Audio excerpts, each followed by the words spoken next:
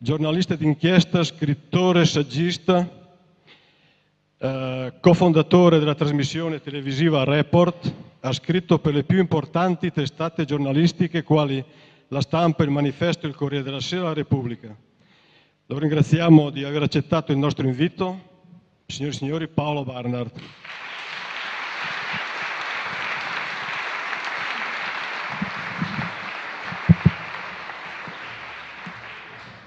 Buonasera, il punto, il punto, qua è, oltre a capire che cosa sta succedendo eh, ai nostri redditi, ai nostri capannoni, al nostro portafoglio ordini, al nostro negozio, eccetera, alla, ai risparmi, a, alle possibilità dei nostri figli dei nipoti di, di vivere in un paese che crei lavoro, eccetera. Al di là di questo, eh, al di là della comprensione di cosa sta veramente succedendo, che è importante perché nessun giornale né televisione ovviamente vi, vi offrirà un'informazione eh, reale di quello che sta succedendo, non possono perché dipendono in tutto e per tutto dai signori che guidano l'economia, per cui non possono perdere il posto di lavoro raccontando la verità.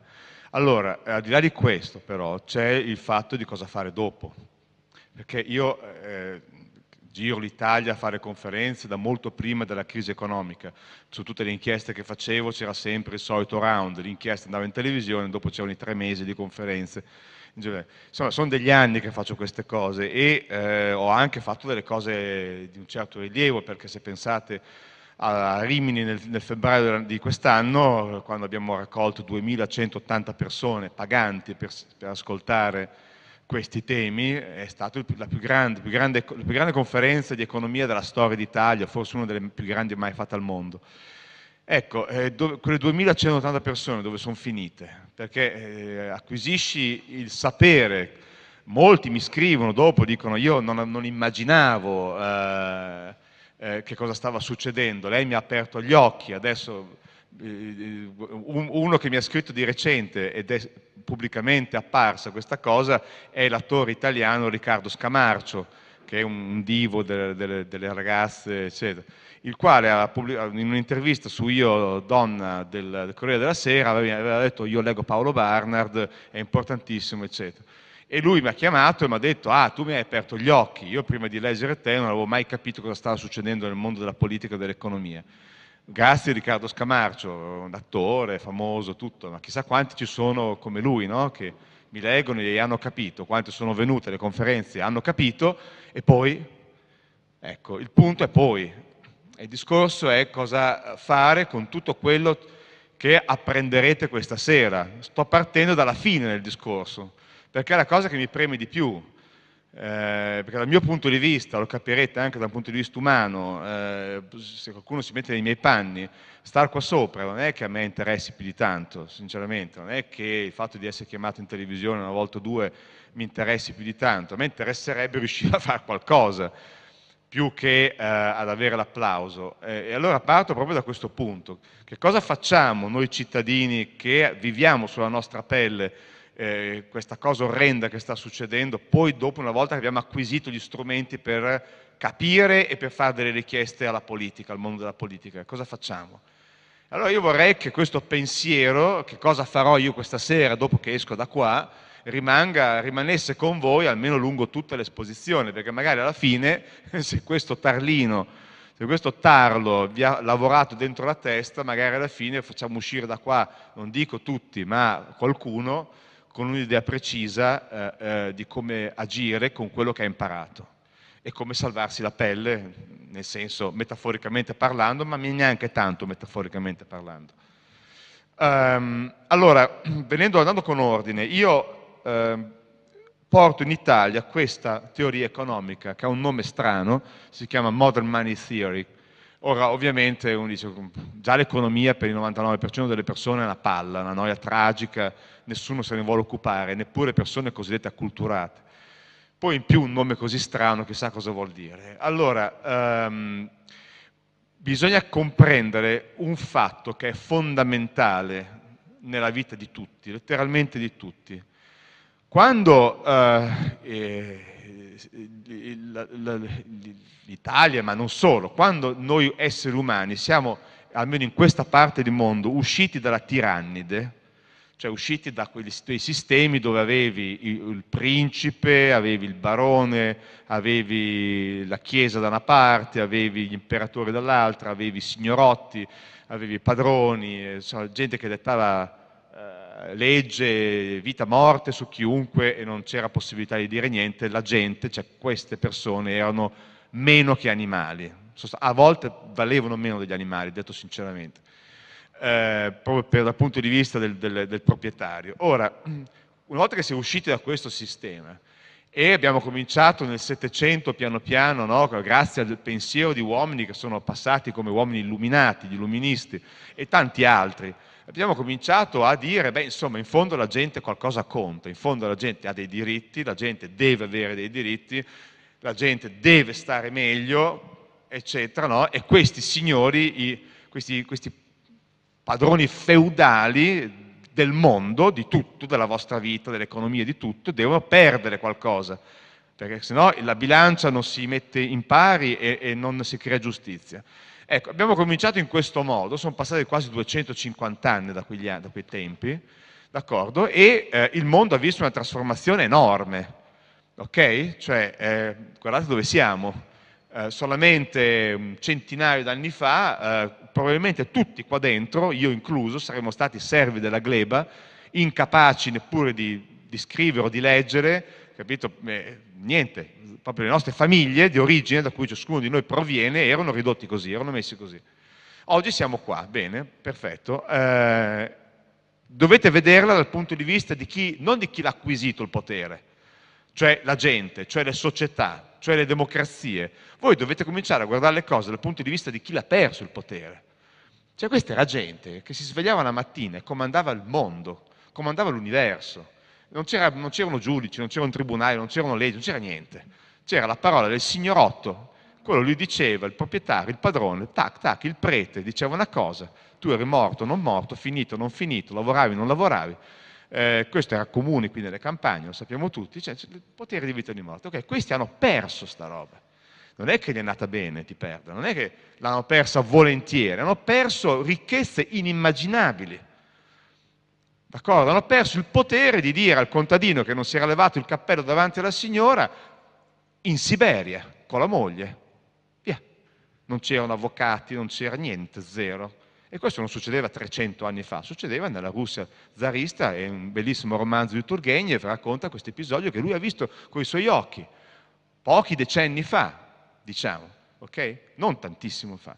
Okay, hanno perso questa hanno perso ricchezze, ricchezze, immense, pensate agli sfruttamenti coloniali, pensate all'era industriale, pensate ai profitti che hanno fatto i grandi nomi dell'industria, che hanno fatto la storia dell'Europa, i Krups, i Siemens, i Rothschild, eccetera. Questi grandissimi, questi hanno perso potere e ricchezza in quantità incredibile.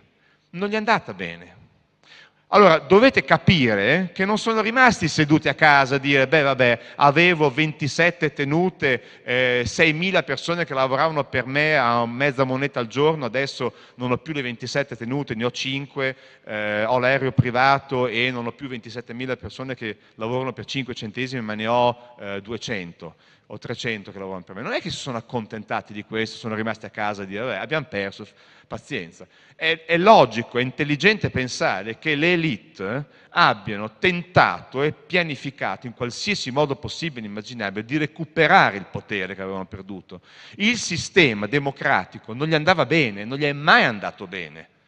E non è che, ripeto, sono rimasti a casa a far nulla, hanno cominciato a lavorare sodo e questo è stato l'oggetto della mia ricerca, quando iniziai a pensare di scrivere il più grande crimine, mi, mi posi il problema di dire ma se è vero che oggi, anche se abbiamo la democrazia per finta, anche se abbiamo gli stipendi, l'Inps, le pensioni e, e la, la, l'ambulatorio e il medico di base, d'accordo, e nessuno, di, e nessuno, dei nostri bambini lavora più in miniera uh, uh, per una moneta al giorno, mezza moneta al giorno, ok? Anche se abbiamo questo, però voglio dire...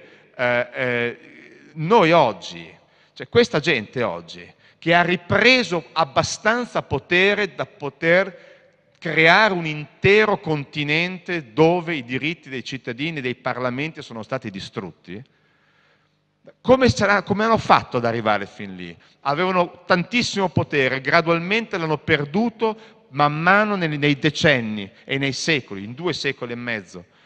E oggi l'hanno recuperato abbastanza da poter riuscire, senza che nessuno se ne accorgesse in realtà, a riacquisire abbastanza potere da togliere potere ai parlamenti nazionali, da togliere potere alle costituzioni, da togliere potere economico agli stati, da riprendere in mano quasi tutta la gestione della ricchezza del mondo. E allora io mi sono posto questa domanda e ho detto, io devo raccontarla questa storia. Devo riuscire a fare una ricerca seria, approfondita, con dei, delle, degli accademici importanti, non gentetta da quattro soldi, gente che abbia veramente approfondito le questioni, e raccontare come questo è successo. Cioè come questo colpo di Stato finanziario che ha travolto anche l'Italia nell'ultimo anno sostanzialmente, e che è solamente il punto d'arrivo di un processo lunghissimo, si è potuto verificare. Ecco che eh, eh, cominciamo a scoprire un mondo che non immaginavamo, cominciamo a scoprire che realmente eh, queste famiglie, questi grandi industriali dell'Europa, queste famiglie a una volta nobili, questi chiamati rentiers, e venivano chiamati e sono ancora chiamati rentiers, hanno lavorato in maniera molto diligente, molto capace, finanziando con miliardi il loro lavoro per portare una situazione naturalmente compatibilmente con eh, la modernità, non potevano più riportarci al carro, eh, a, ai gendarmi e, e, e, alle galere sotto ai castelli. Eh, hanno dovuto farlo nei limiti della modernità, ma hanno potuto riportarci a una situazione di neofeudalesimo. Perché quello che noi oggi viviamo, anche se questa sera abbiamo mangiato la cotoletta, abbiamo guardato la televisione e domani andiamo a, a Lido di Spina a fare il weekend, noi oggi stiamo rivivendo una situazione di neofeudalesimo. Perché quello che voi avete, che oggi considerate eh, il benessere sostanzialmente, non è che una briciola in realtà, una briciola di quello che potreste avere. Una piccola, miserabile, microscopica briciola. D'accordo? E tutto il resto che voi non avete, non avrete mai, per non parlare di quelli che non vanno a fare il weekend a Lido di Spina perché sono stati licenziati eh, o, o, hanno delle situazioni a casa drammatiche perché hanno mutui da pagare e, no, e, non possono veramente neanche immaginare di uscire più a mangiare la pizza con i figli. Okay? Cioè, e, e, e tutto quello che voi non avete l'hanno acquisito loro, se lo sono ripreso. L'avevano perduto dal 700 in poi man, man mano e adesso l'hanno completamente ripreso. E l'hanno ripreso con gli interessi, perché pensateci bene, la regina Vittoria, per avere quello che aveva, doveva combattere guerre, doveva mobilitare risorse immense, rischi pazzeschi, ovviamente non personali, ma sto dicendo carneficine a destra e a sinistra, un impero da controllare che richiedeva degli sforzi bellici militari spaventosi, per poi acquisire un profitto che era enorme, d'accordo? Ma voi immaginate che oggi ci sono quattro persone a Wall Street che senza fare guerre e senza avere 27.000 soldati, ma con 15 dipendenti o 20 dipendenti in un ufficio, fanno gli stessi soldi, esattamente identici, forse anche di più. Quindi nella realtà oggi si sono ripresi la ricchezza e con gli interessi. Se la sono ripresa in maniera molto più furba. Nessuno può neanche dire ma eh, hai fatto sparire mio padre impiccato a un gancio di ferro in una segreta di Parma perché protestava contro le ingiustizie. Nessuno neanche più dire, può più dire questo, anzi no, adesso c'è la democrazia, noi possiamo dire quello che vogliamo e loro si stanno arricchendo molto di più di prima, come prima, molto di più di prima, alle nostre spalle. E siamo noi quelli che pian piano stiamo perdendo il potere uh, del, di acquisto dei nostri stipendi, che rispetto agli anni 70 è calato fino al 72%. Questa è una cosa che non, si, non scrive il Corriere della Sera, non lo dicono neanche a Ballarò, però è così. C'è un bellissimo studio che fra l'altro è della Bocconi, dell'Università Bocconi fra l'altro, che è quella di Monti, perché qualcuno dentro che ancora sa studiare alla Bocconi c'è, che parla di crolli del potere d'acquisto degli stipendi dal 75 a oggi fino al 72%. Voi avete perso questo. Chi qua uh, ha i capelli bianchi si ricorda, io me lo ricordo benissimo perché ero bambino, che una persona che lavorava in casa riusciva non solo a mantenere una famiglia, ma a fargli fare anche le vacanze. Due persone che lavoravano, facevano le vacanze, mandavano i bambini al mare e pagavano un mutuo. Cioè, sono eh, eh, poteri d'acquisto che oggi sono inimmaginabili, ma non solo. Eh, rispetto al potenziale tecnologico che abbiamo, abbiamo ancora una sanità da medioevo e non abbiamo una sanità migliore, non perché non sia possibile, non perché non ci siano i mezzi, ma perché non vogliono darceli, semplicemente non ce li vogliono dare. Potremmo tutti lavorare per vivere benissimo nella piena occupazione italiana un terzo di quello che lavoriamo, con lo stesso reddito, con lo stesso standard di vita, anzi di più però non eh, ci concedono di farlo. Potremmo portare via tutta la metalmeccanica italiana che sta rotolando giù dal burrone, prendere tutta la Fiat, mandare eh, eh, eh il signor Marchionne a, a, in vacanza in Canada, riprendere tutta quella gente che perderebbe il lavoro, farla rilavorare da un'altra parte con stipendi migliori e non avere più questo ricatto, questo cappio sulla testa del fatto che la Fiat ci sta o la Fiat non ci sta, che c'è o non c'è, l'investimento o non investimento. Potremmo dire agli investitori internazionali che oggi non scommettono più sui titoli di Stato italiani, andate al diavolo, chi se ne frega. E avremmo, con questa economia, gli investitori che invece tornano a bussare alle porte dell'Italia ci pregano in ginocchio di comprarci i titoli di Stato. Vorrebbe dire una società che si democratizza veramente, e che riesce a, a godere di uno standard di vita che è dieci volte quello attuale, per tutti. Allora, questa presentazione eh, specifico non è il parto della fantasia di Paolo Barnard, è il parto di un'economia che ha cento anni di storia okay, eh, e che eh, ha questi padri, che elenco molto rapidamente. Questo signore, un tedesco, Georg eh, Friedrich Knapp, è, è un, stato un grandissimo economista, è importante perché è il padre di questa teoria che si chiama il cartalismo. Non è difficile, ve lo spiego in tre secondi. È uh, la cosa che sta poi alla base di tutto quello che vi ho appena detto. No? Vi ho appena detto, voi potreste avere dieci volte di più di quello che in realtà vi dicono che non potete avere. Adesso ci sono i tagli, no? bisogna risparmiare, no? anzi bisogna stringere la cinghia. Semplicemente perché chi comprende, come fece per primo nella storia Friedrich Knapp, il, il valore del cartalismo, cioè che la moneta, eh, allora era la carta, oggi è moneta elettronica per la maggior parte, che la carta moneta non ha nessun valore per lo Stato che la emette ha e acquisisce un valore solamente per chi non può emetterla e deve lavorare per averla, ma per lo Stato che emette la moneta, la carta è carta. È una unità di conto senza valore intrinseco, si dice in economia, unità di conto che lo Stato produce dal nulla.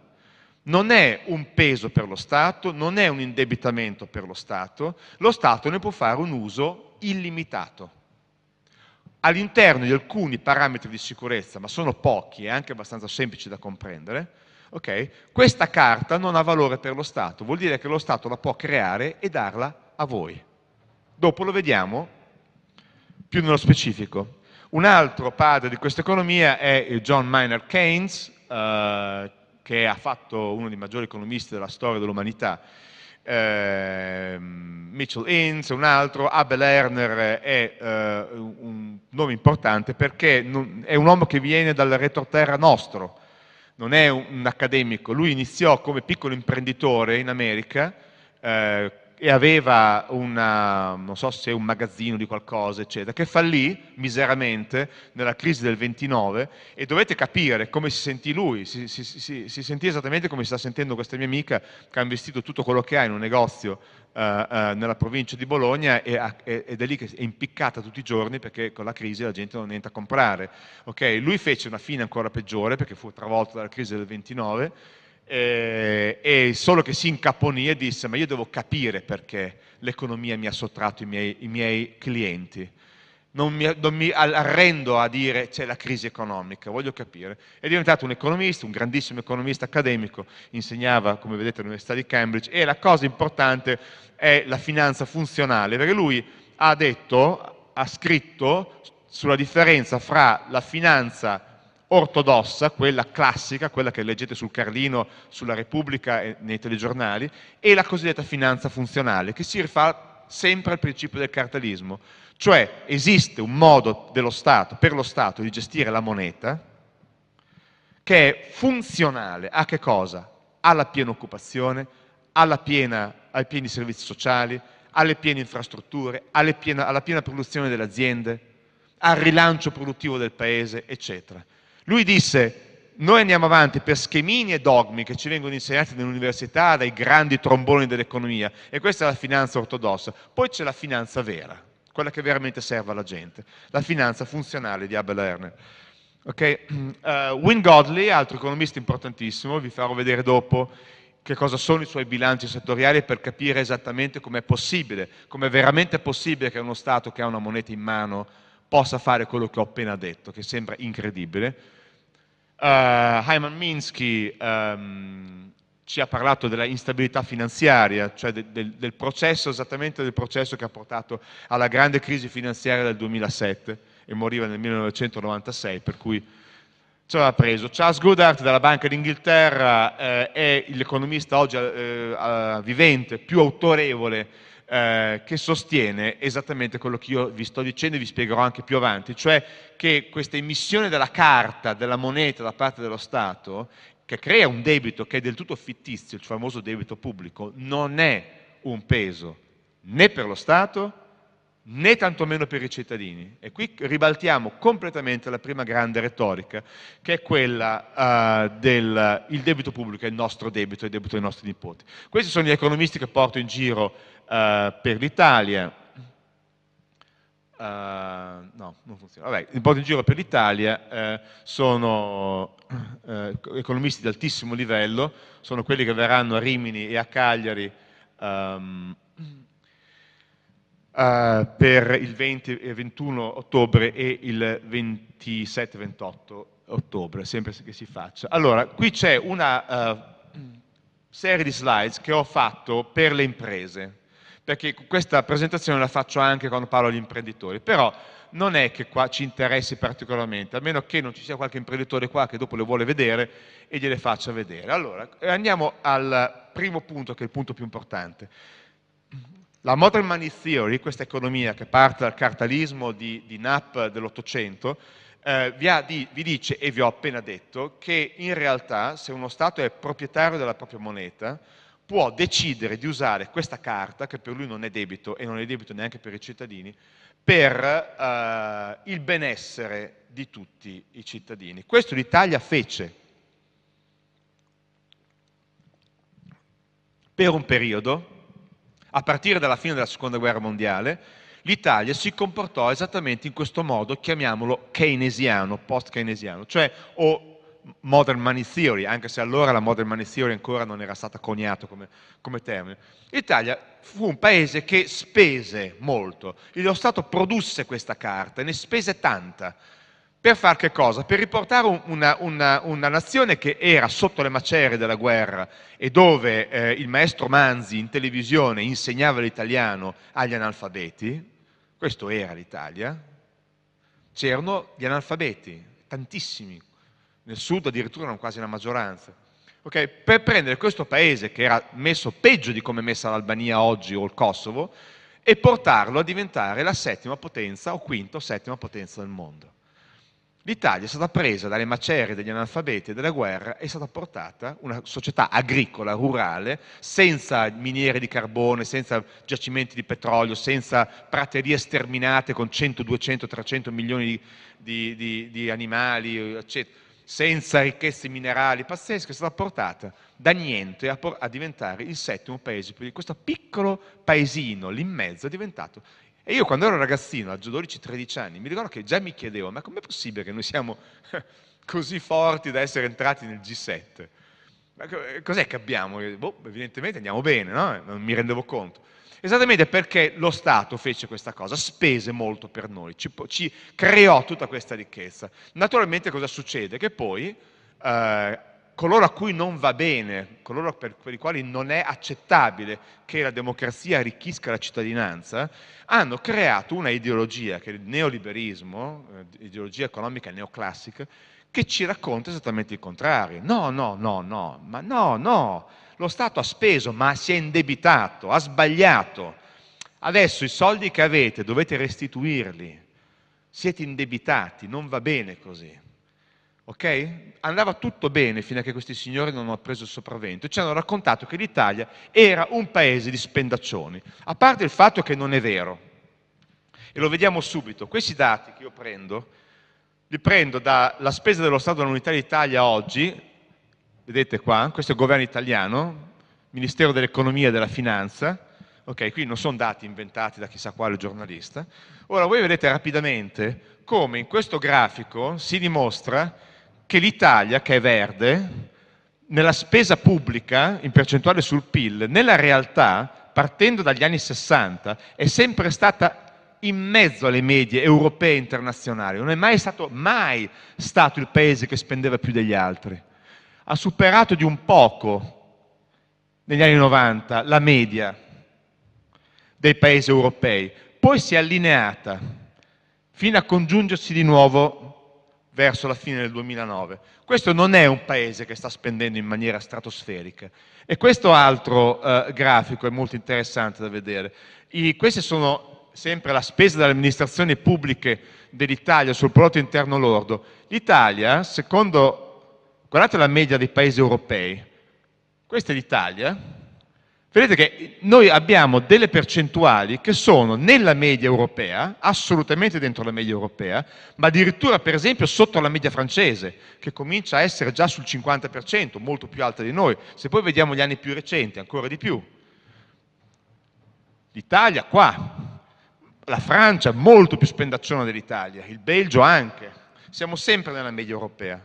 L'Italia non è vero che è stato un paese di spendaccioni, prima bugia. Ok? Um, questa è un'altra bugia che ci raccontano. Rapporto debito prodotto interno lordo. Questa è l'Italia che noi persone più anziane qua dentro abbiamo conosciuto. I Forlani, Spadolini, Fanfani, Craxi, De Mita, bla bla bla. Gente per carità, non certo, non certo politici raccomandabili, ma stiamo sull'economia però. Okay? Guardate il debito pubblico italiano la parabola che ha fatto. Non è stato un disastro fino alla caduta della Prima Repubblica. Guardate dove si è impennato il debito pubblico italiano nella realtà, con i governi tecnici del post-Tangentopoli, fino ad arrivare a Berlusconi, con Berlusconi leggermente cala, cala ancora col arrivare ad Alema e Amato, ok? E poi dopo si rimpenna in tutti gli anni successivi. Um, questo, vabbè, eh, queste sono... Questo di nuovo, questo è una cosa del Fondo Monetario Internazionale che riguarda l'Italia, è la spesa dello Stato e le tasse, ok? La linea nera grossa è la spesa dello Stato e, e queste qui sono le tasse. Come vedete, negli anni virtuosi in cui l'Italia diventa uno dei sette paesi più ricchi del mondo, la tassazione è sempre stata di molto inferiore alla spesa dello Stato. Lo Stato ha sempre cartalisticamente speso di più di quello che ci tassava. E lì il paese è diventato uno dei sette paesi più ricchi del mondo. Guardate il trend finale con l'entrata nell'euro, come la tassazione comincia pian piano a raggiungere la spesa e oggi abbiamo eh, la tassazione che abbiamo, lo sappiamo, dal 50 al 61%, dipende dalle regioni. E guardate questa cosa che è straordinaria, presa da Economia e Finanza della Repubblica, dice a metà degli anni 90 l'Italia appariva a giudizio delle agenzie di rating che oggi hanno tagliato il giudizio su di noi, appariva come una delle economie leader dell'Unione Europea, con una crescita media annua superiore al 2% nell'ultimo decennio. Oggi cresciamo meno 2,6%. Crescevamo allora del 2%, una crescita media, quindi voleva dire che c'erano dei momenti in cui si cresceva anche di più.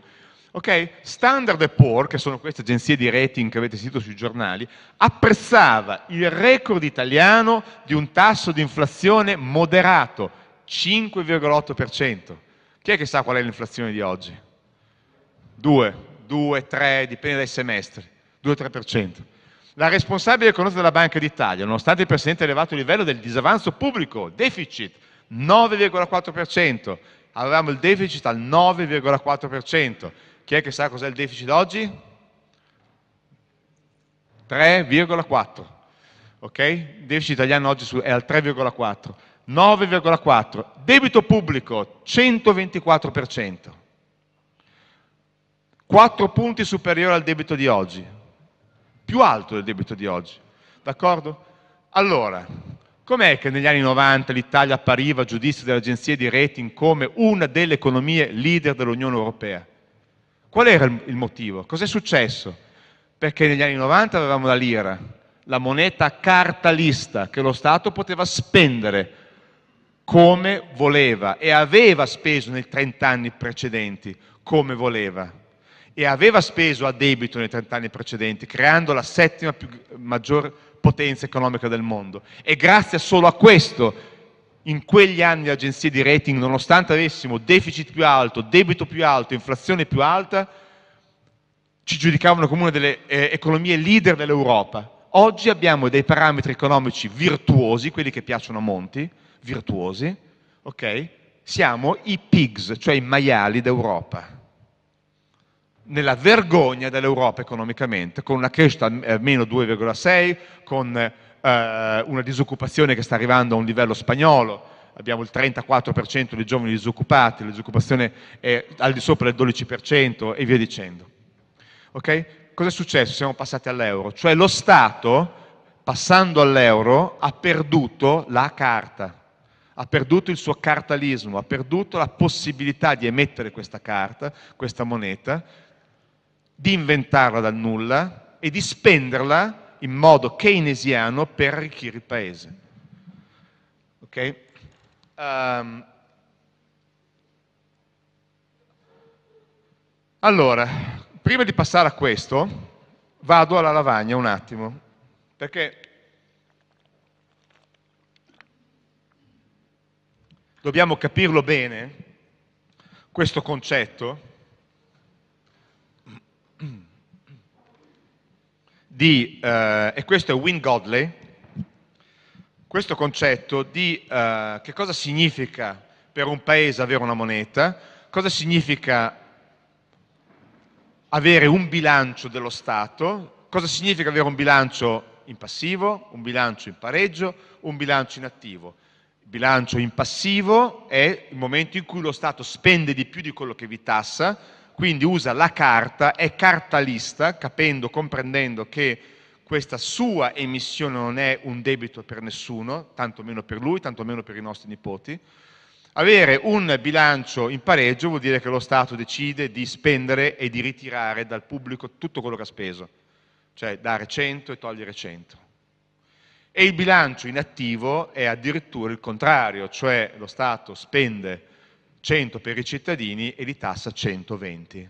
Così questo signore che si chiama Stato accumula una, un tesoretto che non si capisce a cosa serva, non si capisce a chi serva. Vabbè, allora, um, questa è l'Italia. Ok? Questo è il nostro paese. E come dico sempre, ogni paese, ogni nazione ha due tipi di ricchezza. Una ricchezza finanziaria rappresentata dal denaro e da tutto quello che è denaro. È denaro anche un titolo di Stato, è denaro anche un'obbligazione, è denaro anche uh, un titolo di una banca, eccetera. E, e ricchezza reale. Ricchezza reale sono le auto, le case, i campi, le industrie, tutto quello che è il cibo, la carne tutto quello che è ricchezza reale. Allora, in questo paese ci sono due entità e solo due. Il governo e il non governo. Questo è G e questo è non G. Semplice, che cos'è il governo? Il governo è tutto l'apparato pubblico tutta l'amministrazione dello Stato, questo è il governo. Tutto ciò che non è amministrazione dello Stato e apparato pubblico, cioè tutta la cittadinanza, le imprese, i bar, i negozi, i mestieri, eh, i campi, i contadini, tutto quello che non è governo è settore non governativo.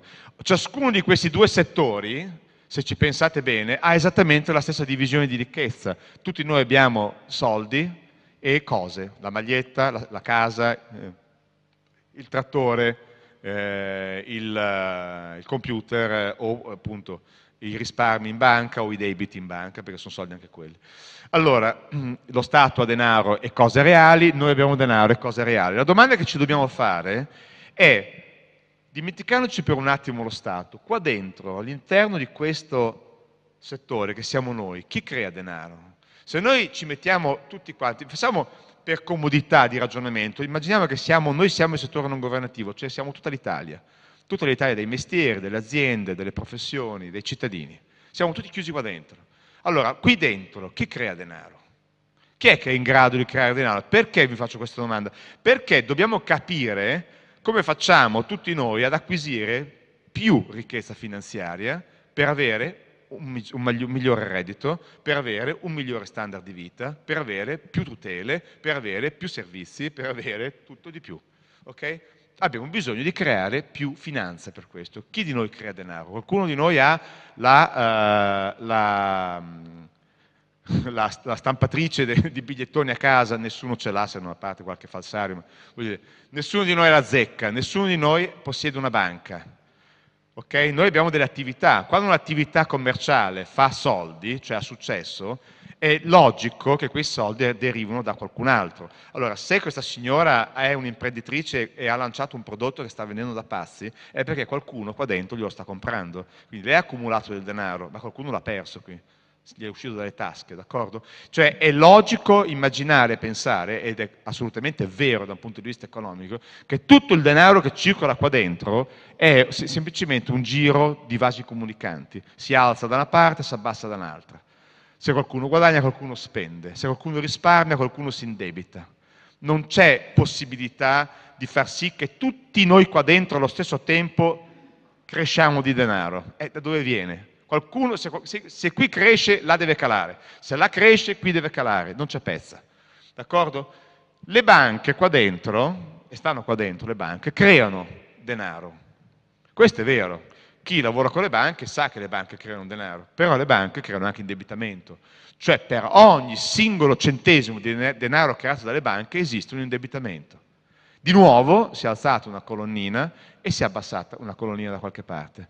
Non, neanche le banche possono creare del denaro al netto, cioè un denaro che entri in questa stanza, che benefici tutti, senza che nessuno se ne sia privato o senza che nessuno si sia indebitato.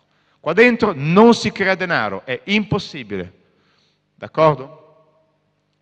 Allora, come si fa ad avere più denaro qua dentro? È eh, eh, gioco forza immaginare che l'unica possibilità è che un contenitore esterno da qua crei un valore finanziario e lo immetta qua dentro. D'accordo? E questo è quello che fa ogni singolo Stato al mondo attraverso quella che si chiama la spesa pubblica. Lo Stato proprietario di una moneta il dollaro, la sterlina, la lira, il marco, eccetera, crea questa moneta al lato della spesa, compra un ospedale qua dentro, paga i, gli, operai che l'hanno fatto, l'azienda che l'ha fatto, paga l'indotto dei prodotti che sono stati venduti per fare quell'ospedale, costruisce una strada, paga stipendi a eh, insegnanti, a consulenti, alla polizia, ai pompieri, eccetera. Okay? Quindi crea una spesa che entra qua dentro. Qui nessuno si è privato di un singolo centesimo nel momento in cui lo Stato ha deciso di costruire quell'ospedale. D'accordo? Quindi è denaro che è entrato. Poi cosa fa lo Stato però? Fa anche un'altra cosa che è un po' meno, un po meno carina, tassa. Ok? E quindi prende il denaro che solo lo Stato può aver creato, perché nessuno di noi può creare le lire, i marchi, i dollari, gli yen, eccetera, prende il denaro che lo Stato ha creato, che ha messo qua dentro, e lo tira fuori da qua, lo, lo, se ne riappropria. Attenzione al gioco. Allora è ovvio che se lo Stato spende 150 e tassa 100, ci lascia qua dentro al netto 50. Ok? Questo vuol dire che tutta questa cittadinanza italiana si è arricchita di 50, senza essersi privata di un singolo centesimo ha messo 150, ha tolto 100, ci rimangono 50 netti. Perfetto. Se lo Stato decide di mettere 100 e di togliere 100, qua dentro ci rimane zero. Siamo esattamente da capo. non abbiamo un singolo centesimo di, di ricchezza finanziaria aggiunta, non possiamo risparmiare niente, non possiamo reinvestire niente, siamo nella stessa condizione di prima. Okay? Se poi lo Stato decide, sciaguratamente dal mio punto di vista, di spendere 100 e tassare 150, qua dentro andiamo a meno 50. Un anno meno 50, un anno meno 30, un anno meno 45, un anno meno 20, dove finiamo? Finiamo nello Zimbabwe.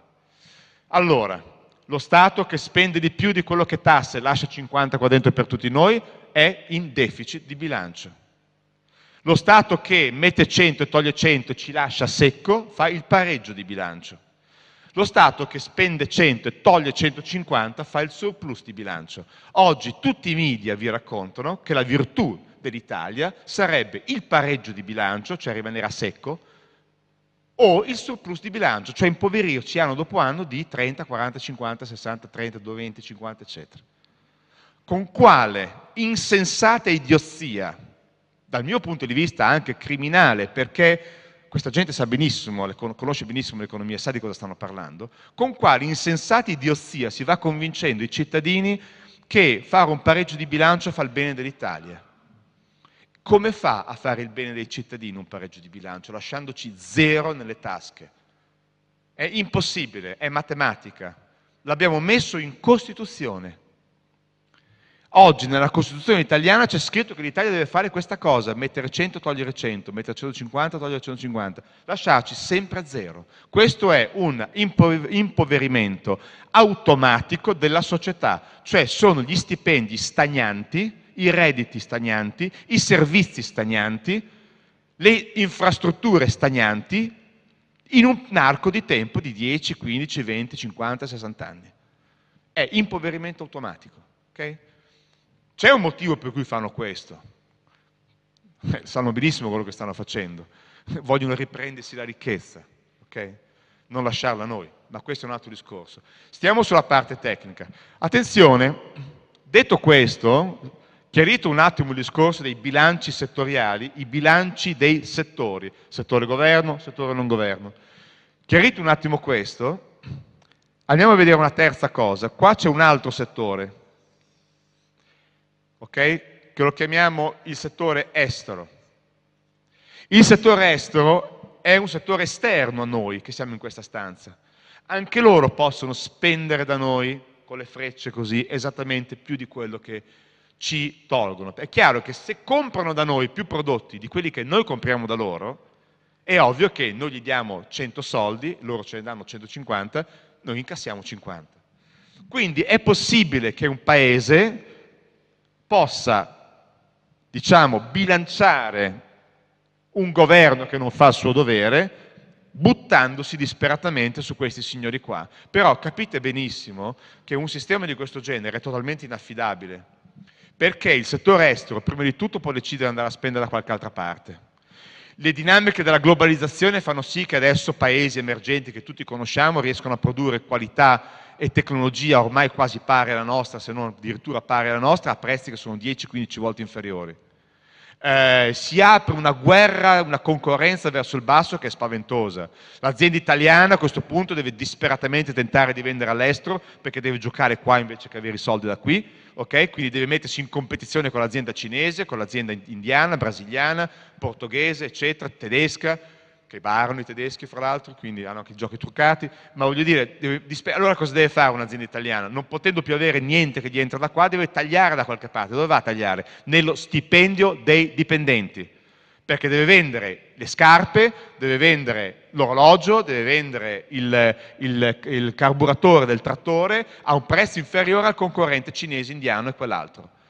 E allora si parte in una gara a ribasso micidiale, dove nella realtà per riuscire ad avere più investimenti da qua di quelli che noi portiamo all'estero, finiamo per distruggere i redditi italiani. Oltre al fatto che ho citato all'inizio, per cui a un certo punto questi possono decidere che in Italia non comprano più. Per cui io sinceramente devo dire una cosa. Se noi pensiamo, come pensano certi economisti, che secondo me nonostante studino tanti anni non sanno di cosa stanno parlando, se noi pensiamo che un paese si possa reggere su questa gara, pensiamo veramente alla rovina dell'Italia. Noi dobbiamo avere un governo che è l'emissore della moneta, che ne può emettere tanta quanta gliene pare, senza reali problemi, che faccia il gioco virtuoso, spenda a deficit, specialmente nei momenti di bisogno, come sono questi, questi anni di adesso. Noi abbiamo l'economia italiana che si sta avvitando disperatamente e c'è bisogno di un intervento del sovrano, di chi può emettere la moneta, per iniettare beni finanziari qua dentro, vuol dire creare piena occupazione, impiegare tutti i disoccupati che sono stati resi disoccupati dalla crisi economica, impiegare i sottoccupati che si sono laureati e lavorano per 800 euro, per 600 euro, okay? creare le infrastrutture per rilanciare le aziende italiane, come hanno fatto i tedeschi, mentre dicevano noi di non farlo, e non potevamo farlo perché era spesa pubblica, loro lo facevano barando, ok? Cioè fare tutta quell'opera di iniezioni di beni finanziari qua dentro che rilancia il paese. Questo noi dobbiamo fare, contare su questa gente, ma attenzione.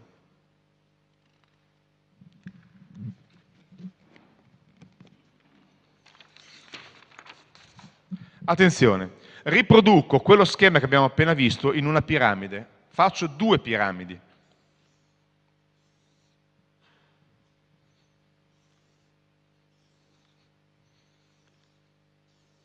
Ok, lo schema che abbiamo appena visto si può riprodurre in questo senso. In cima c'è il sovrano, cioè il governo.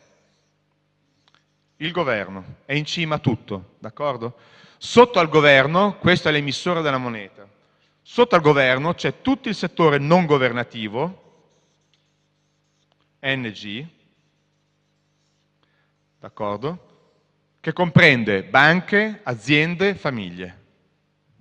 Okay? Abbiamo visto che governo può decidere di operare quella spesa virtuosa, tassare meno di quello che spende. D'accordo? Questo è.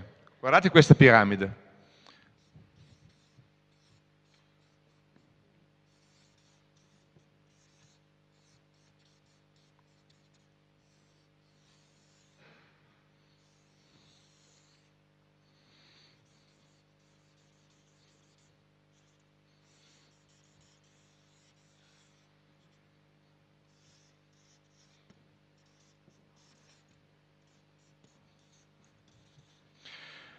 In cima c'è il sovrano, la Banca Centrale Europea, emissore della moneta. Sotto ci sono le banche internazionali europee e qua c'è il settore non governativo, che invece di avere banche, famiglie e aziende, ha governo, aziende, famiglie e banche commerciali, ce le mettiamo anche quelle.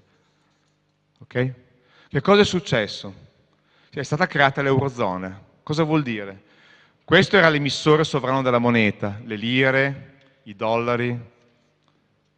Qui c'erano monete sovrane, i dollari esistono ancora, sono ancora sovrani. Ok? Questo è l'emissore dell'euro, moneta sovrana adesso, solo che l'emissore della moneta, colui che poteva fare questa operazione, è diventata una banca, una banca centrale europea, formata da 17 banche centrali nazionali. Okay? Quando questo signore crea il denaro, cosa fa? Non fa come faceva questo signore qua, il governo crea spendendo costruisce l'ospedale, paga lo stipendio pubblico, fa l'infrastruttura, eccetera, paga il poliziotto, il, il pompiere. Quando la BCE crea il denaro, lo immette dentro le banche di investimento internazionali europee, okay? le quali banche internazionali di investimento europee prestano il denaro, gli euro, direttamente al governo che sta nel settore non governativo, cioè il governo italiano è diventato esattamente come il signor eh, Mazzetti, qua dentro, che per comprare l'auto va alla finanziaria sotto casa e dice ho bisogno di soldi per comprare l'auto. E la finanziaria gli dice te li do all'8%, prendere o lasciare.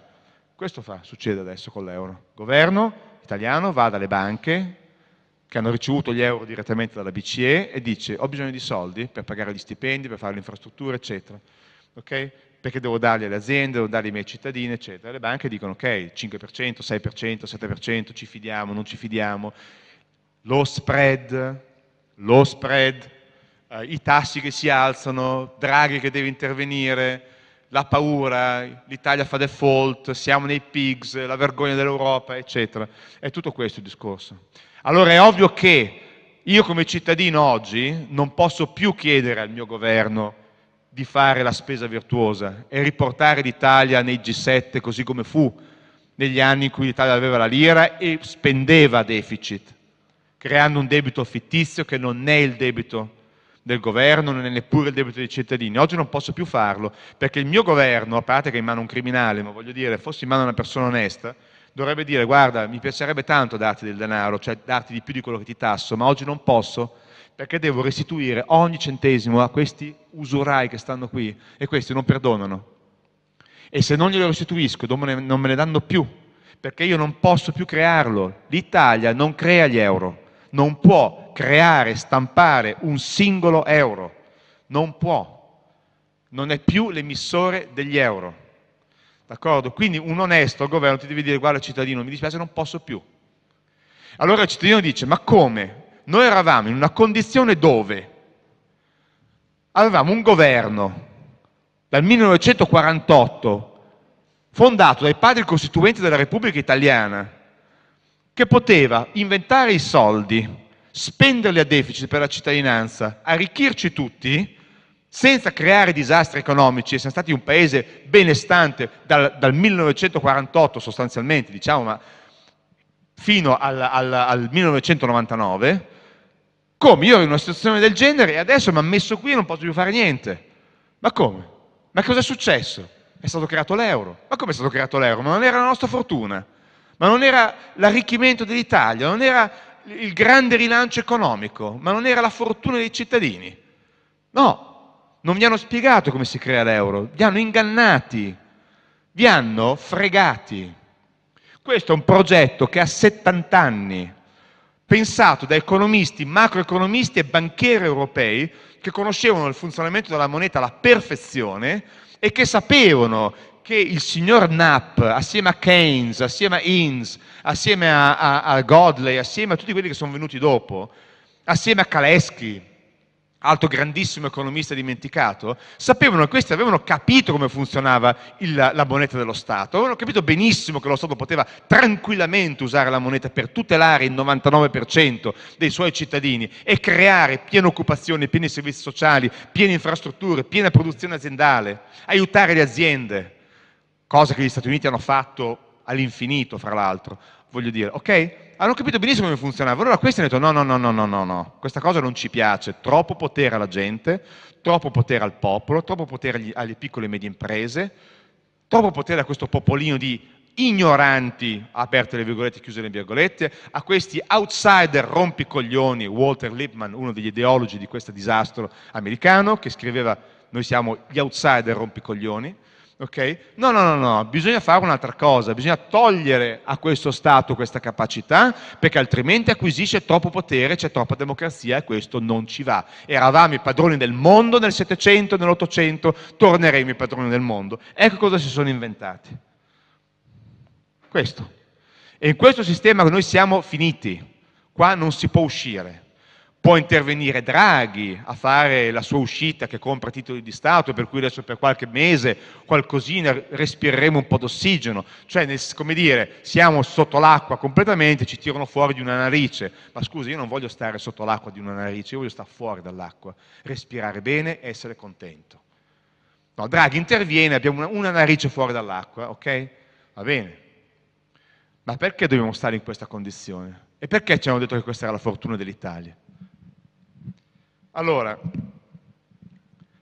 torniamo un attimo qua per capire un po' meglio il discorso di questo debito pubblico, perché naturalmente tutto questo discorso fila molto liscio, fino a che qualcuno non vi dice no, no, guarda che Paolo Barnard è uno che dice delle cose che noi abbiamo smentito da tanti anni. Il debito pubblico si può creare, si può momentaneamente arricchire la cittadinanza, si fa quella bella operazione delle frecce che dice Paolo Barnard, però poi è debito e tu lo devi ripagare. E allora, caro mio, Paolo Barnard ti vende una, una frottola, cioè ti dice eh, la gallina, eh, eh, l'uovo oggi e non la... com'è detto? Non mi ricordo più. La, l'uovo oggi, gallina... Eh, esatto. Eh, è meglio l'uovo oggi che la gallina domani, una roba del genere. Questi, non li ho mai imparati bene questi. E e smentisce quello che abbiamo detto. Allora, guardate un attimo questo, questo è, una, um, questo è un grafico del Fondo Monetario Internazionale che riguarda l'Italia, la riga blu è il bilancio del governo, ok? E questo è il bilancio di noi, d'Italia, non governo, siamo noi. Guardate com'è andata. Regolarmente negli anni vedete che tutto quello che il governo spendeva, scusate, si tramutava istantaneamente nell'attivo dei cittadini. Ma è logico. Ma chiedo scusa, ma voglio dire, io, se io sono un fabbro che lavoro per un, un, un'opera pubblica, dobbiamo fare un ponte o dobbiamo fare un ospedale, dobbiamo fare fondamenta, se sono un'azienda che fa eh, materie plastiche, devo fare i pavimenti di, di, di uffici pubblici o, o di scuole, eccetera. Quello che mi viene pagato come azienda, come stipendio, come fa a essere il mio debito? È la spesa pubblica, la freccia, ok? Come fa a essere il mio debito? Questo non capisco. Se io compro, se io sono un cittadino qui di Migliarino, compro un titolo di Stato e do 1000 euro e quel titolo mi rende, oggi mi può rendere il 5-6%. 1000 euro stavano sul conto corrente dell'Unicredit a prendere, so, meno dell'1%, adesso sono su un conto del tesoro, sono sempre a mio nome e prendono il 5%. Come fa a essere il mio debito questo? Non capisco. Cioè, perché la spesa dello Stato è il debito dei cittadini? Come fa a esserlo? La spesa dello Stato è sempre l'attivo dei cittadini, questa è la situazione americana, stessa storia. Cioè, veramente il deficit di bilancio di uno Stato a moneta sovrana è al centesimo l'attivo dei cittadini. Bilancio del governo, bilancio del settore domestico privato. Ora, però ci dicono un'altra cosa, e questo è eh, eh, interessantissimo, ci dicono ok, ammesso anche che sia dimostrato che eh, in fondo è vero che un titolo di Stato arricchisce un cittadino, non lo impoverisce, che uno stipendio arricchisce il cittadino, non lo impoverisce, neanche lo indebita, a meno che poi lo Stato non decida di tassare a morte, ma è una scelta politica, okay? tutta questa creazione di denaro sì, vi arricchisce, però Paolo Barnard non vi dice che crea inflazione. E allora dopo è come se io vi dessi 100 soldi e poi con l'inflazione ve li mangio tutti. Non avete avuto niente in realtà. Allora l'Italia aveva inflazione? Certo che aveva inflazione. Noi eravamo più poveri? Vediamo un attimo. Questo è molto interessante. Ok, questa è, questa è l'Istat, serie storica di inflazione media italiana 54-2010, ok? La serie storica. Questa è l'Italia con le sue inflazioni. Andiamo a vedere le inflazioni dell'Italia. Partiamo dal 1955, 2%, 3-4, eccetera. Le inflazioni sono variate tantissimo, il 70, il 5%, il 71, il 4, 8 e via andiamo avanti, il 12% negli anni 70, il 17%, inflazioni molto importanti. Okay? Guardiamo il 1980 che ho messo in rosso perché è l'anno in assoluto dove l'Italia ha avuto la maggiore inflazione della sua storia, il 21%.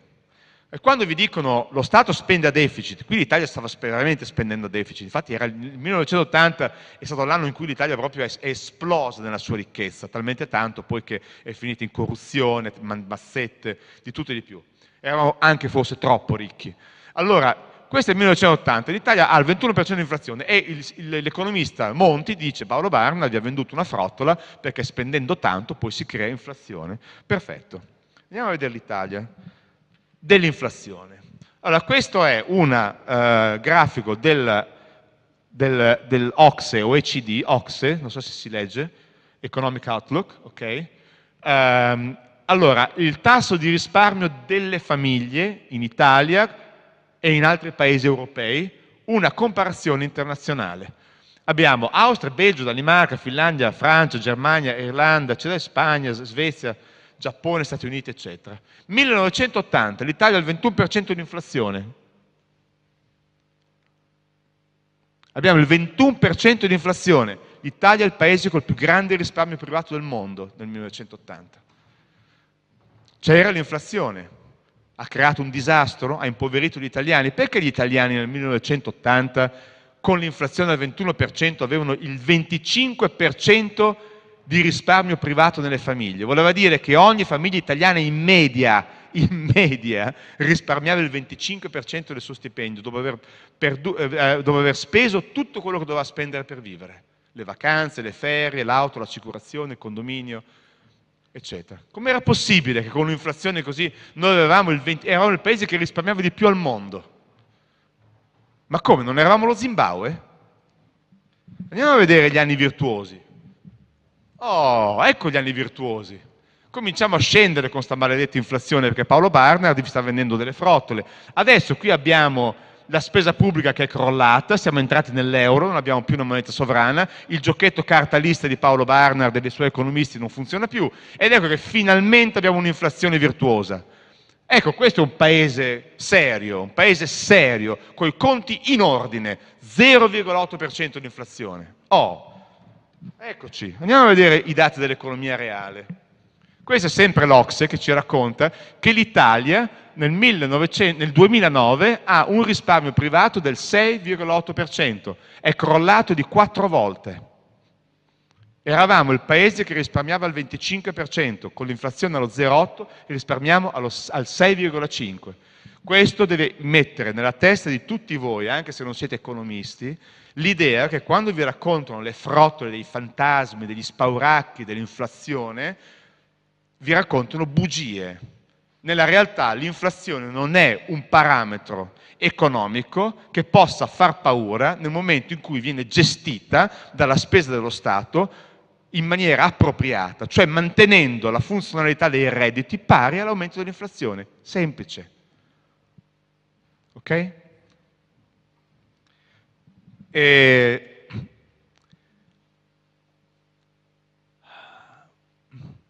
sulla disoccupazione, guardate l'Eurozona.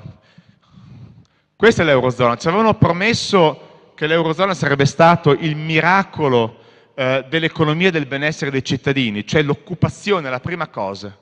Allora, noi entriamo nell'euro nel 1999, formalmente nel 2002. Questa è la fonte dell'Eurostat, d'accordo? Questi sono i tassi di disoccupazione. Abbiamo eh, Giappone e Stati Uniti, e poi abbiamo sopra l'Europa dei 17, cioè l'Eurozona, e l'Europa dei 27, l'Europa generale. Guardate che roba. Ma non ho capito, ma non era l'euro che doveva portare la fortuna dell'Europa, il crollo della disoccupazione, l'aumento della produzione. Cosa è successo? Arriviamo al 2008 che abbiamo ancora dei tassi di disoccupazione, poi guardate anche dopo. 2009, 2010, 2011, qui stiamo arrivando al 12% con delle medie in Europa che arrivano al 40%, al 50% di disoccupazione. Ma l'euro non doveva portare alla fine di questo disastro. Perché paesi con la moneta sovrana come il Giappone e gli Stati Uniti sono rimasti sempre lungo tutto il decennio a un tasso di disoccupazione quasi della metà dei nostri? Gli Stati Uniti hanno fatto l'impennata nel 2008 per la crisi finanziaria, ma la crisi finanziaria è una crisi artificiosa, creata a tavolino, non è una crisi della spesa dello Stato. Un'altra cosa, il Giappone è rimasto come era prima. Guardate l'Europa che disastro. L'euro non ci ha portato un posto di lavoro in più. Eh, anche questo è interessante. Possiamo fermarci un attimo qui. Allora, ehm, una delle cose sempre che ci raccontano per convincerci del fatto che è necessario ribaltare questo paradigma virtuoso, che io descrivo come paradigma virtuoso, ok? Cioè questo, con moneta sovrana, ci raccontano, come abbiamo visto, il problema del debito, cioè ci dicono il debito è il debito dei cittadini e dei nipoti, che abbiamo visto che non è vero e non può essere vero. Eh, ci dicono che ci sarà inflazione, abbiamo visto che l'inflazione non conta una cippa, detto come va detta, se lo Stato sa fare il suo mestiere dal punto di vista della gestione monetaria. Eh, ci raccontano della disoccupazione, la disoccupazione in realtà è aumentata perdendo la moneta sovrana e perdendo le spese a deficit, meno deficit è aumentata la disoccupazione, non è diminuita. Okay? E l'altra cosa che ci dicono è questo, l'Italia è un paese che eh, non era competitivo, ha delle colpe perché le aziende italiane non sono competitive, il mercato del lavoro italiano è troppo regolamentato, i sindacati hanno fatto troppo lavoro, hanno chiuso, strangolato la flessibilità in Italia, eccetera. E quindi dobbiamo di nuovo credere alla, alla quarta, quinta menzogna eh, che ci vendono oggi per imporci l'austerità e eh, creare questa flessibilità in entrata e in uscita del mercato del lavoro che vuol dire gente che sta a casa o che guadagna zero, ragazzi che non hanno futuro, non potranno mai sposarsi, nemmeno che meno fare un mutuo, eccetera. Andiamo a vedere una roba. Sapete che nel mondo esiste un consesso di economisti e finanzieri e industriali che è il, probabilmente forse il più alto al mondo, cioè il luogo, il momento più eh, prestigioso di riunione di questa gente, che è il World Economic Forum, a Davos in Svizzera, passa anche nei telegiornali ogni tanto, quindi probabilmente qualcuno se lo ricorda, ogni febbraio se non mi sbaglio a Davos in Svizzera si riuniscono questi magnati dell'economia internazionale, soprattutto grandi industriali e finanzieri, e fanno questo summit. In questo summit loro, ehm, una delle cose più importanti che esce dal summit sono le pagelle dei singoli stati che servono agli investitori per sapere dove andare a investire i loro soldi. Loro vanno a Davos e chiedono agli specialisti di Davos di stilare le pagelle perché devono andare a investire. E queste sono alcune delle pagelle più interessanti. Nelle pagelle eh, c'è questo indice globale di competitività. Okay? La Svezia, tanti, tanti dati interessanti, ma quello che conta per un investitore, l'occhio dell'investitore cade sempre qui. Perché l'investitore vuole sapere quali sono i fattori più problematici per andare a investire in Svezia, in questi paesi. Allora, qui c'è scritto, non so se lo leggete, un mercato del lavoro troppo regolamentato, come in Italia. Troppe tasse. Questa è la Svezia. Non andiamo bene per niente. La Fornero direbbe qui bisogna deregolamentare il mercato del lavoro. Questa è la Finlandia, quali sono i maggiori problemi in Finlandia? Troppe tasse, il mercato del lavoro è troppo regolamentato. La Fornero boccia la Finlandia assieme all'Italia, la Germania. Addirittura la Germania il primo problema in assoluto, nonostante tutto quello che ci raccontano a noi che siamo, è il mercato del lavoro troppo regolamentato. Andiamo malissimo. Arriviamo alla Svizzera, poi non ne parliamo, addirittura non solo la Svizzera ha un mercato del lavoro troppo regolamentato, ma anche una forza lavoro che è poco formata, inefficienza del governo, troppa burocrazia. Messi malissimo. Secondo i dogmi dell'austerità e dell'economia attuale, questi sono paesi che dovrebbero affrontare con urgenza un problema grave per rendersi competitivi. Questa è la pagella finale del Summit di Davos 2011-2012 e queste sono le nazioni più competitive al mondo. La Svizzera, la Svezia, la Finlandia e la Germania.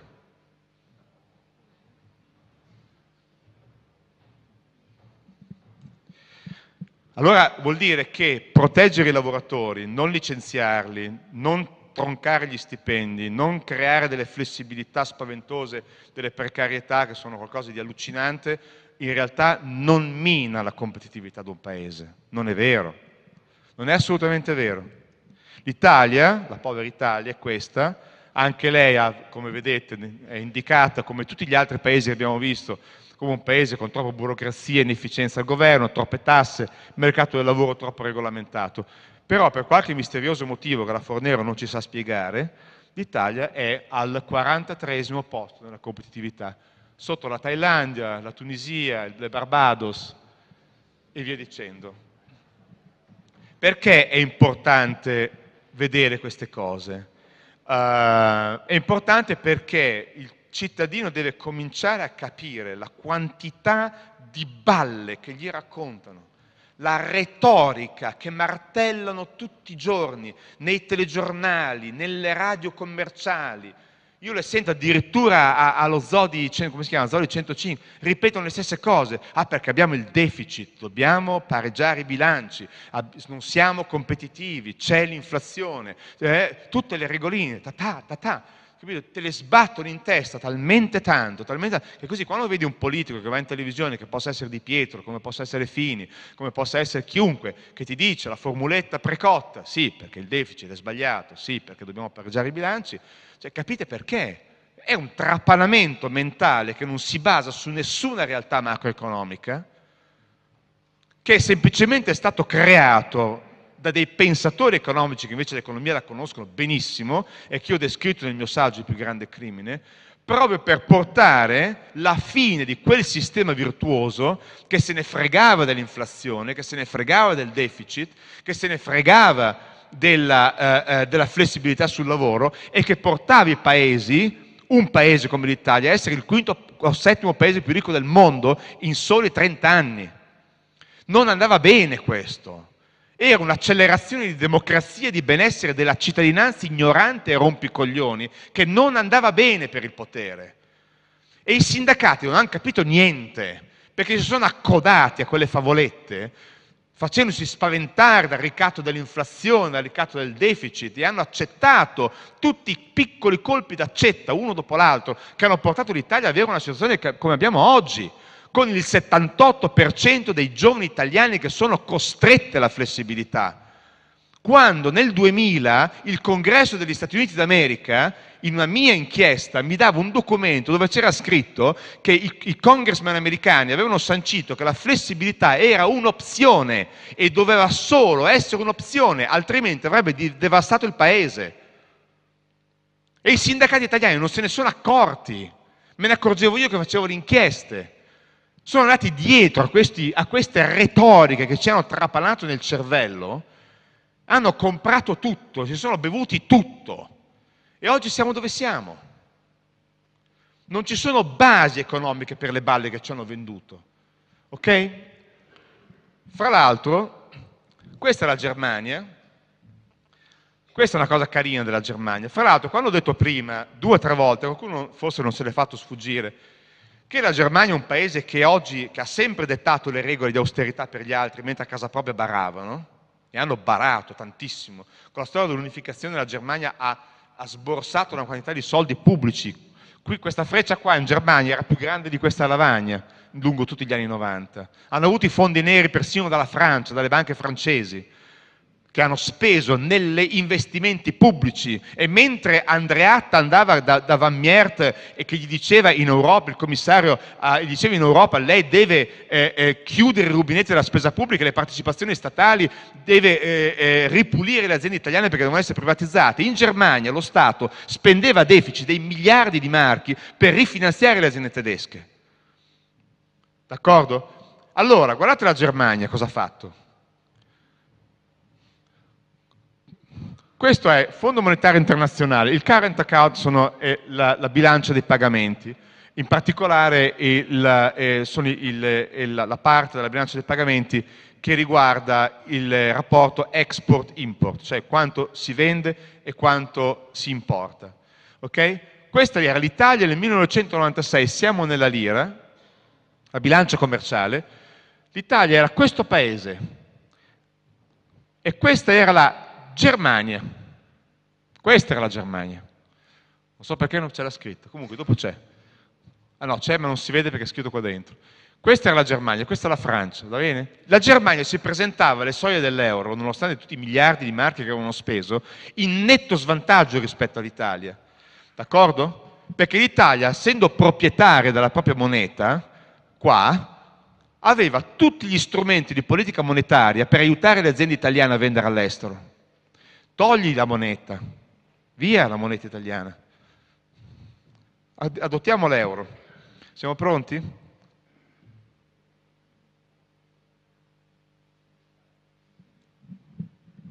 Questo è il risultato.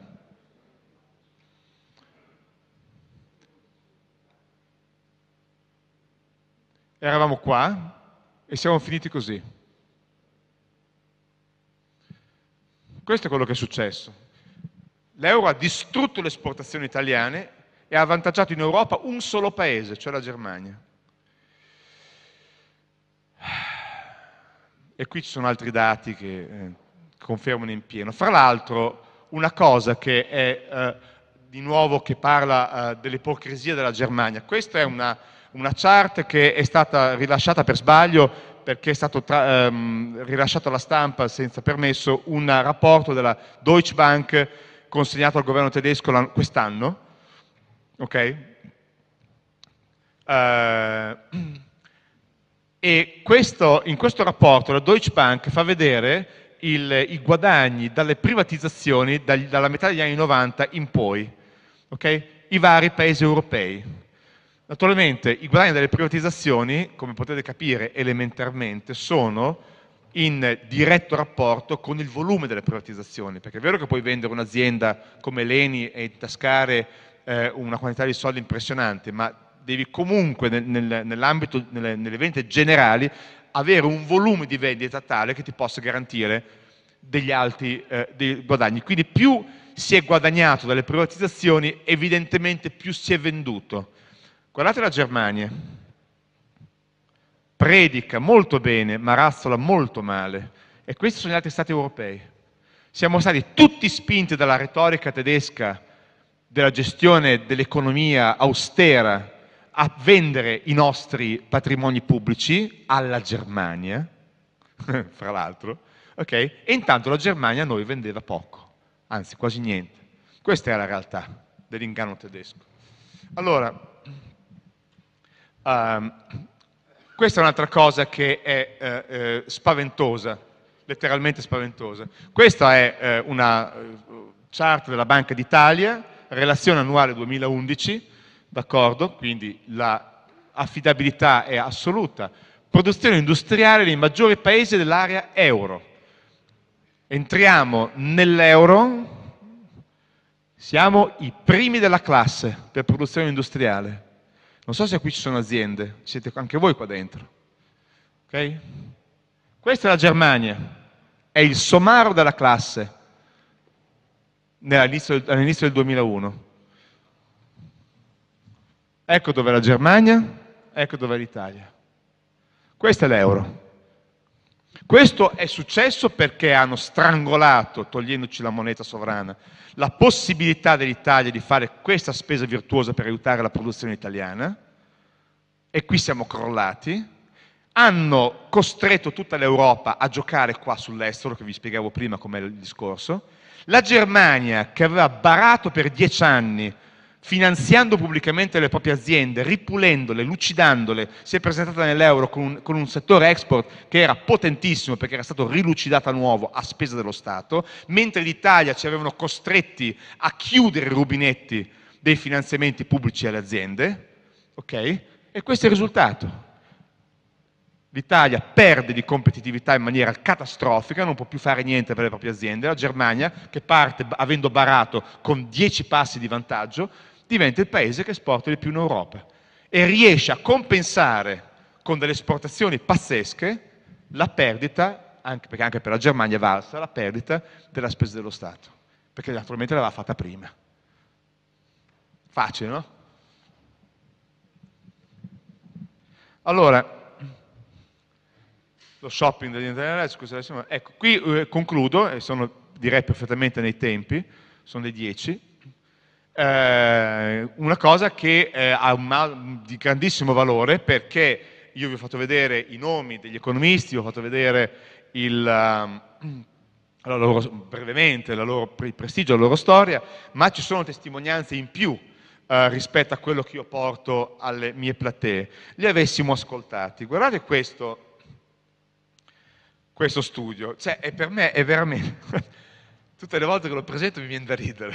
E, e ovviamente sa, in una situazione così drammatica si perde un attimo di tensione, ma, ma viene da ridere perché voglio dire, questo qui è, uh, uh, allora, è uno studio prodotto, il, il, proposito di questo studio è di uh, osservare come eh, gli economisti americani, quelli con il sistema della Federal Reserve, cioè la banca centrale americana, economisti della Banca Centrale Americana e delle università americane hanno monitorato l'unificazione monetaria europea uh, dalla pubblicazione del piano dell'OR, del rapporto dell'OR, che fu quello, diciamo, il rapporto che lanciò l'idea dell'unificazione europea dell'euro, eccetera, fino all'introduzione dell'euro nel gennaio 2002. Questi studiosi americani della Federal Reserve delle università americane hanno prodotto nel 2002, quindi all'entrata in gioco dell'euro, il seguente giudizio. l'euro non può succedere, è una brutta idea, non dura.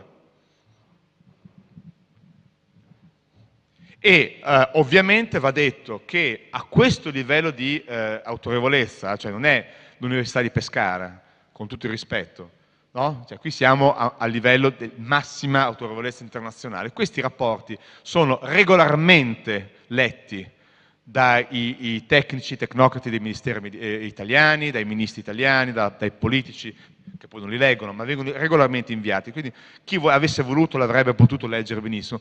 Un'altra eh, testimonianza è il, del famoso economista che vi citavo prima, Win Godley, eh, il eh, professore emerito di economia all'Università di Oxford, che nel 1997, in un'intervista all'Observer, giornale inglese, diceva, questa è inglese, questo è l'italiano, le nazioni dell'euro non solo, si, non solo rinunceranno alla propria moneta sovrana, ma anche alla loro capacità di spesa. Con l'unione monetaria i governi non potranno più essere finanziati dalla banca centrale, dovranno prendere in prestito sui mercati aperti. I governi dovranno prendere in prestito sui mercati aperti.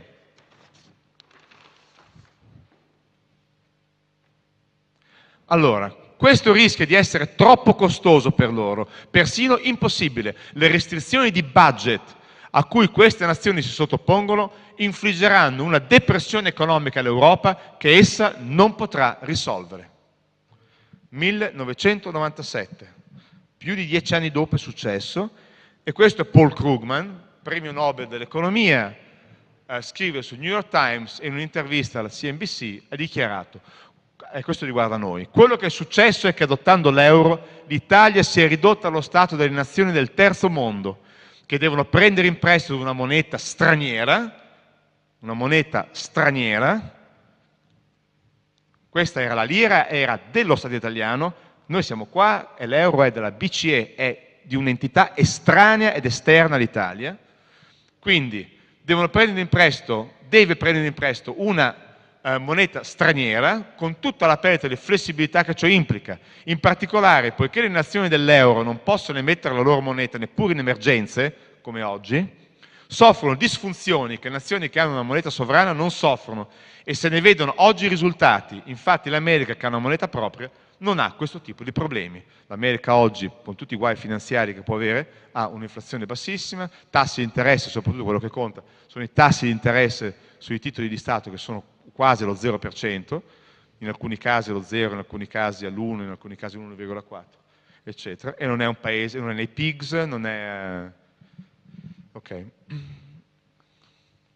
E questo, non so se si vede, è un cartello che è stato fotografato da una ragazza a Roma, eh, fuori da un'attività commerciale, eh, dove c'è scritto chiudiamo per sempre il 31 luglio, ho visto uomini con la forza scusate, ho visto uomini con la terza elementare mettere su un'azienda e dar lavoro a decine di persone. Poi ho visto professori con tre lauree in tasca far chiudere migliaia di aziende affamando milioni di persone. L'intelligenza non si studia.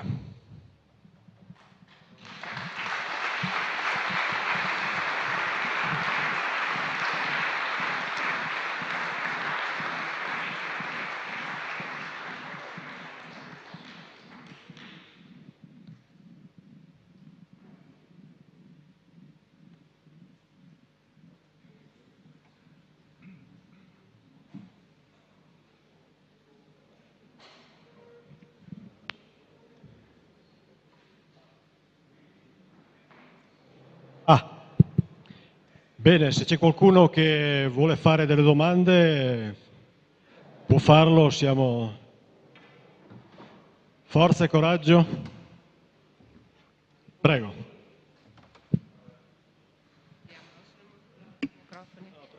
Uh, dunque, l'euro, da quello che capisco, l'euro non dovrebbe essere la moneta di uno Stato sovrano che dovrebbe essere l'Europa?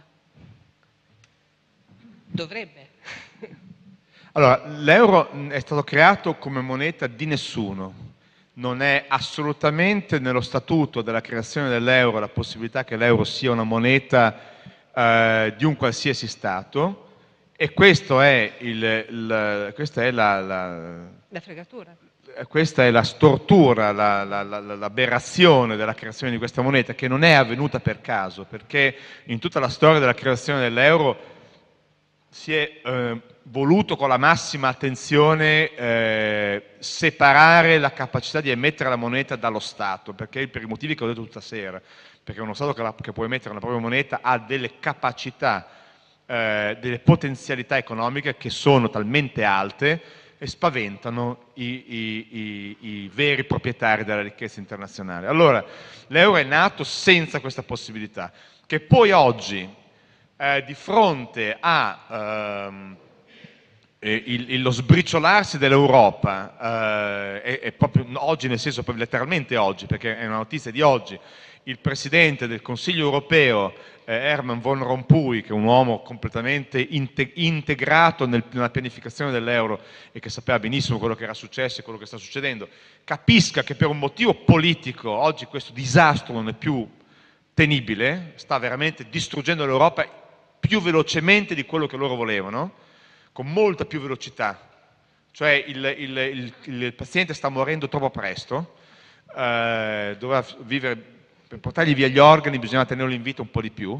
Okay? Allora, eh, che si stia rendendo conto di questo è un fatto. Oggi si comincia a parlare di una larvale forma di Stati Uniti d'Europa con un'autorità politica centrale, con un'autorità bancaria, eh, scusate, con un'autorità di spesa, cioè un Ministero del Tesoro centrale, eccetera.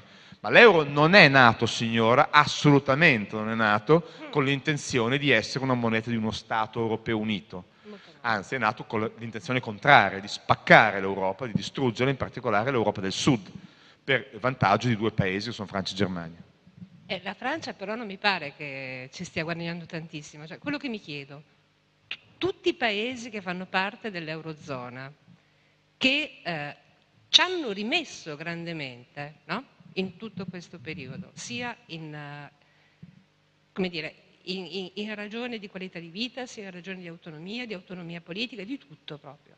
Ci stanno riducendo, ma non solo l'Italia, tutti, a nuove colonie. Allora, per dirla con un francesismo, come facciamo ad avere tutti i maroni sul ceppo di qualcuno, visto che ci siamo cascati non solo in Italia, cioè siamo un po' tanti? Qual è il... chi è il burattinaio? per dirla come va detta.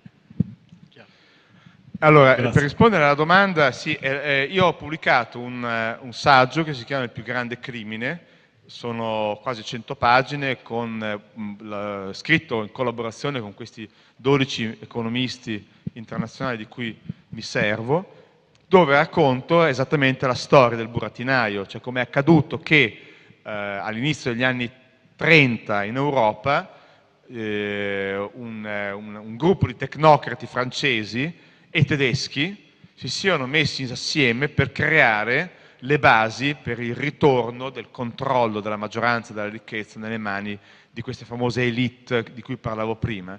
Il, l'economista francese François Perroux, eh, che peraltro, lo dico sempre, va ripetuto, era un, un, un uomo di Pétain, un filo nazista, che andava perfettamente d'accordo con, eh, per esempio, Hilman eh, Schacht, che era il governatore della banca della, della Bundesbank, eh, di allora, ehm, e, e contribuì alla pianificazione di, di, di questi tecnocrati con l'idea della moneta unica scrivendo trattati che apparivano regolarmente sulle riviste dell'ordine economico di, del, del, del, maresciallo Pétain, eh, del regime di Pétain, eh, trattati in cui eh, raccontava come una moneta unica avrebbe sottratto agli stati la loro ragione di esistere.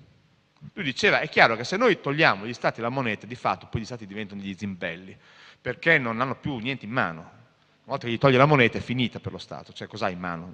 Ha un Parlamento che senza soldi non può fare più niente, senza gestione, gestione dell'economia non può fare più niente. Ora, questa pianificazione, perché questi tecnocrati si sono mossi? Perché erano pagati dai gruppi industriali dell'acciaio franco-tedeschi, in particolare i Wendel e i Krups, i quali avevano capito che un'Europa eh, dove gli stati nella, nascenti democrazie, loro sognavano anche l'Inghilterra, poi l'Inghilterra è stata troppo furba, ha vinto anche la guerra e poi nell'euro non c'è stata. Ehm, a, a, avessero fatto questa, questo passaggio, sarebbero diventati appunto degli schiavi del potere privato industriale e di fatto di chi aveva il maggior potere industriale di allora. Lei si ricorda che eh, l'Europa nasce sulla comunità dell'acciaio e del carbone, era la nostra ricchezza. Quindi era naturale che questi industriali dell'acciaio e del carbone capissero che esautorando gli stati, loro sognavano di avere la grande industria della metalmeccanica, dell'energia, dell'acciaio e del carbone al centro del potere e, gli, e tutti gli staterelli intorno come zimbelli. Okay? E questo è stato l'inizio del progetto. Poi, eh, eh, eh, sua, nel suo trionfo moderno, perché ci sono voluti 70 anni per riuscire a fare questa moneta unica, nel suo trionfo moderno si è visto che il progetto è rimasto comunque garante del potere franco-tedesco, d'accordo? E si è visto che eh, eh, andava, a, a, calzava a pennello un'idea di un'Europa a due velocità. Loro capirono, negli anni 70 hanno capito che l'Europa si sarebbe spaccata in due velocità hanno detto qui se facciamo questa cosa e, e l'Italia, la Spagna, la Grecia, il Portogallo, l'Irlanda, i paesi, ci mettevano dentro anche il Belgio, c'era anche il Benelux dentro a questa idea, e anche il Benelux sarebbero diventati i paesi di serie B, con in cima Austria, Francia, Germania, Olanda, Danimarca e l'Inghilterra, punto interrogativo. Okay, questo era il progetto che si è puntualmente verificato, è esattamente quello che è successo. I PIGS, i maiali, Portogallo, Italia, Irlanda, Grecia e Spagna, sono i paesi che sono caduti vittime di, questo, di questa congiura, chiamiamola pure per quello che è, e, ed è quello che abbiamo davanti agli occhi di tutti. Ma perché? Perché è ovvio che nel momento in cui tu prendi un paese che ha dei forti squilibri eh, finanziari, che in una situazione normale sono tutt'altro che squilibri, sono squilibri sulla carta, ma sono in realtà il bene del paese. Ma trasporti questi squilibri in una situazione dove il paese non può più emettere la propria moneta, colui che stava in cima crolla in fondo, che si è visto nella produzione industriale capisce? E colui che invece stava in fondo perché magari aveva proprio un deficit troppo basso e non era riuscito a produrre un miracolo industriale come è stato in Italia, schizza in alto. Perché? Perché i mercati a questo punto si devono prestare i soldi e dicono a un momento tu hai un debito molto alto, a te li presto al 7%, tu hai un debito molto basso, anche se hai un'economia dei, dei puffi, chiamiamola pure, tipo l'Austria, tipo, non so... Eh, eh, tipo l'Olanda, eccetera, i, i, soldi te li presto a un tasso più basso. L'Olanda, che è un paese che economicamente faceva ridere rispetto all'Italia, ma faceva ridere, oggi è un paese che sta là sopra, perché i mercati dicono hai un debito pubblico bassissimo, eccetera, ti presto del denaro a tassi molto più bassi e la, la, l'Olanda vola. L'Italia, che aveva un debito pubblico molto più alto, ma era molto più ricca, adesso deve prendere in prestito tutti i soldi che spende dai tassi impossibili e crollate e precipitate in fondo. E questo è stato il meccanismo. Salve, buonasera, volevo fare una domanda. Allora, io volevo sapere, ehm, con l'annuncio di Draghi di comprare in maniera illimitata debito, presumo, non immettere liquidità, quindi indebitarci ancora di più nell'eventualità che lui compri BTP, che la BCE compri BTP, bot, quello che deve comprare. Eh, volevo sapere perché la Germania si è opposta in maniera così eh, dura a, questa, mh, mm, a, questo annuncio che poi era già scritto nei trattati, quindi era palese che si avverasse ciò. E invece la Germania si è immusonita e ha puntato i piedi su questa cosa qui. La Germania non, non ha puntato i piedi, ha puntato i piedi la Corte Costituzionale tedesca su due eh, ingiunzioni che sono arrivate, che loro dovevano esaminare eh, perché sono tenuti a farlo, eh, sono, per, per, carità di Dio, sono venuti dal... dal... Eh, volevo finire, eh, mi sono ah. dimenticato di terminare la domanda, volevo sapere, eh, per avere, questi, per avere questi, questo salvataggio da, da, parte della BCE, noi dovremmo sottostare a che cosa da parte del Fondo Monetario Internazionale, BCE, Troica? Sì, allora la Germania non si è opposta, anzi tutto, tutto, l'apparato politico tedesco al governo era completamente a favore, poi era scontato che la Corte Costituzionale tedesca non avrebbe mai accettato la responsabilità di far naufragare l'euro, magari sarebbe, fosse successo, ma comunque eh, bocciando questo fondo salva stati. E, e si è visto come sono finite le cose, ovviamente come previsto la Germania, eh, la Corte Costituzionale tedesca ha approvato il fondo salva stati salvando di fatto l'Eurozona, eh, che per noi appunto è una rovina. Eh, um, l'intervento di Draghi eh, specificamente è questo, lui promette di usare l'emissore della moneta, quindi colui che può emettere gli euro in maniera in, in, a, a, senza limite, ovviamente senza limiti di, di, spesa, così come una volta era un governo che le poteva emettere senza limiti di spesa, eh, per comprare titoli di Stato sul mercato secondario dei paesi in difficoltà come Italia, eh, Spagna, Grecia e via, così via, eh, Portogallo. Eh, prima cosa, perché Draghi fa questo? Per lo stesso motivo che ho detto prima, perché hanno capito di aver esagerato col gioco, l'Europa stava crollando ad una velocità eh, eh troppo, eh, troppo, era troppo velocemente, gli stava sfuggendo di mano la cosa, le aziende tedesche non, non hanno finito per niente di fare lo shopping a, a, a, prezzi stracciati delle aziende italiane, cosa che sta succedendo dappertutto, specialmente in Emilia Romagna, nella metalmeccanica, eh, non hanno finito gli investitori di eh, guadagnare dai, dalle speculazioni sui titoli di Stato italiani, ancora hanno da fare tanti soldi eh, e, e, così anche negli altri paesi. Quindi non hanno finito di creare sacche di disoccupazione eh, talmente ampie da poter poi venire a delocalizzare le aziende tedesche in Italia pagando gli stipendi che pagano oggi in India. Okay? E quindi, siccome questo progetto non era a termine, l'Europa stava morendo prima di concludere il progetto, Draghi è intervenuto, cioè bisogna molto, essere molto chiari su questo, è una scelta politica, non è una scelta monetaria, è intervenuto e dice compro titoli di Stato degli Stati in difficoltà sul mercato secondario, col, ottenendo l'effetto che i rendimenti, cioè i tassi di questi titoli scendono, per cui per l'Italia il debito diventa meno gravoso, l'Italia riesce a, a, funzionare un pochino meglio e via dicendo, ma soprattutto quello che si vuole ottenere è che i titoli dei giornali cambino. Questo è il motivo. Ho detto, è un motivo politico per cui Draghi fa questa operazione, non monetario. L'idea è che il resto del Carlino, non sto scherzando, voi siete della zona emiliana, il resto del Carlino non scriva più eh, BCE, spread, Italia, allarme e la gente con l'ansia, già si è stato messo in, in mobilità, oltretutto apri il giornale la mattina al bar c'è scritto crisi dell'Europa, spread, l'Italia sul default, cioè, ansia, ansia, ansia, questo si voleva ottenere che, e si è ottenuto che Repubblica, che il Corriere, che i giornali dicessero ah tutto bene, adesso tutto risolto, siamo a posto, anzi l'euro funziona, anzi Monti che ha distrutto l'economia italiana, adesso vedrete che crescita, ok, e via dicendo.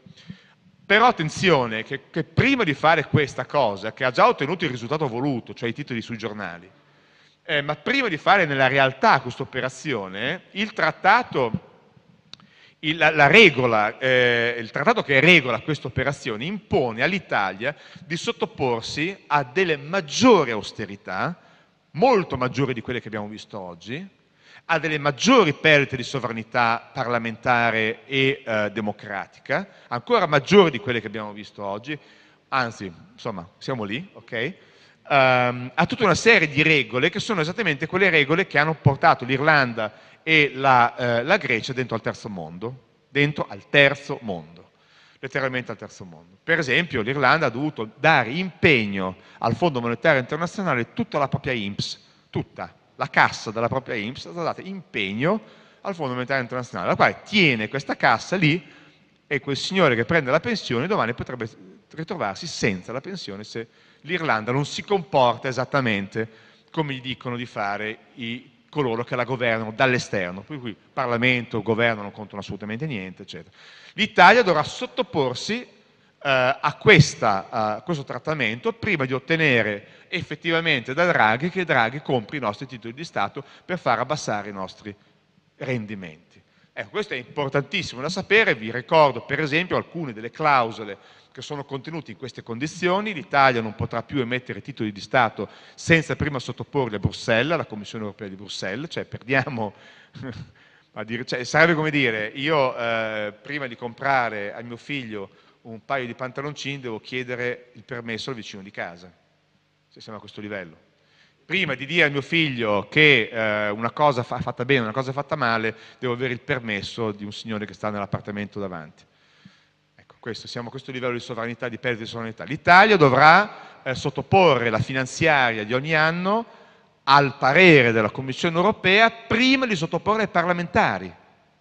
Cioè, I parlamentari italiani sono la sovranità costituzionale suprema dello Stato, perché rappresentano il popolo. Non possono eh, controllare la finanziaria del governo prima che l'abbia approvata eh, la Commissione europea e, e, altre, e, altre, cose di questo tipo. Quindi eh, questo va capito ov- ovviamente che eh, non solo sono perdite di sovranità ma anche le austerità, quindi crollo degli stipendi pubblici, taglio degli stipendi privati, privatizzazione a man bassa, taglio delle, delle, delle, dei servizi pubblici, privatizzazione dei servizi pubblici, privatizzazione dell'acqua, privatizzazione di tutti i servizi uh, uh, che oggi sono considerati comunali, considerati pubblici per il cittadino e via dicendo.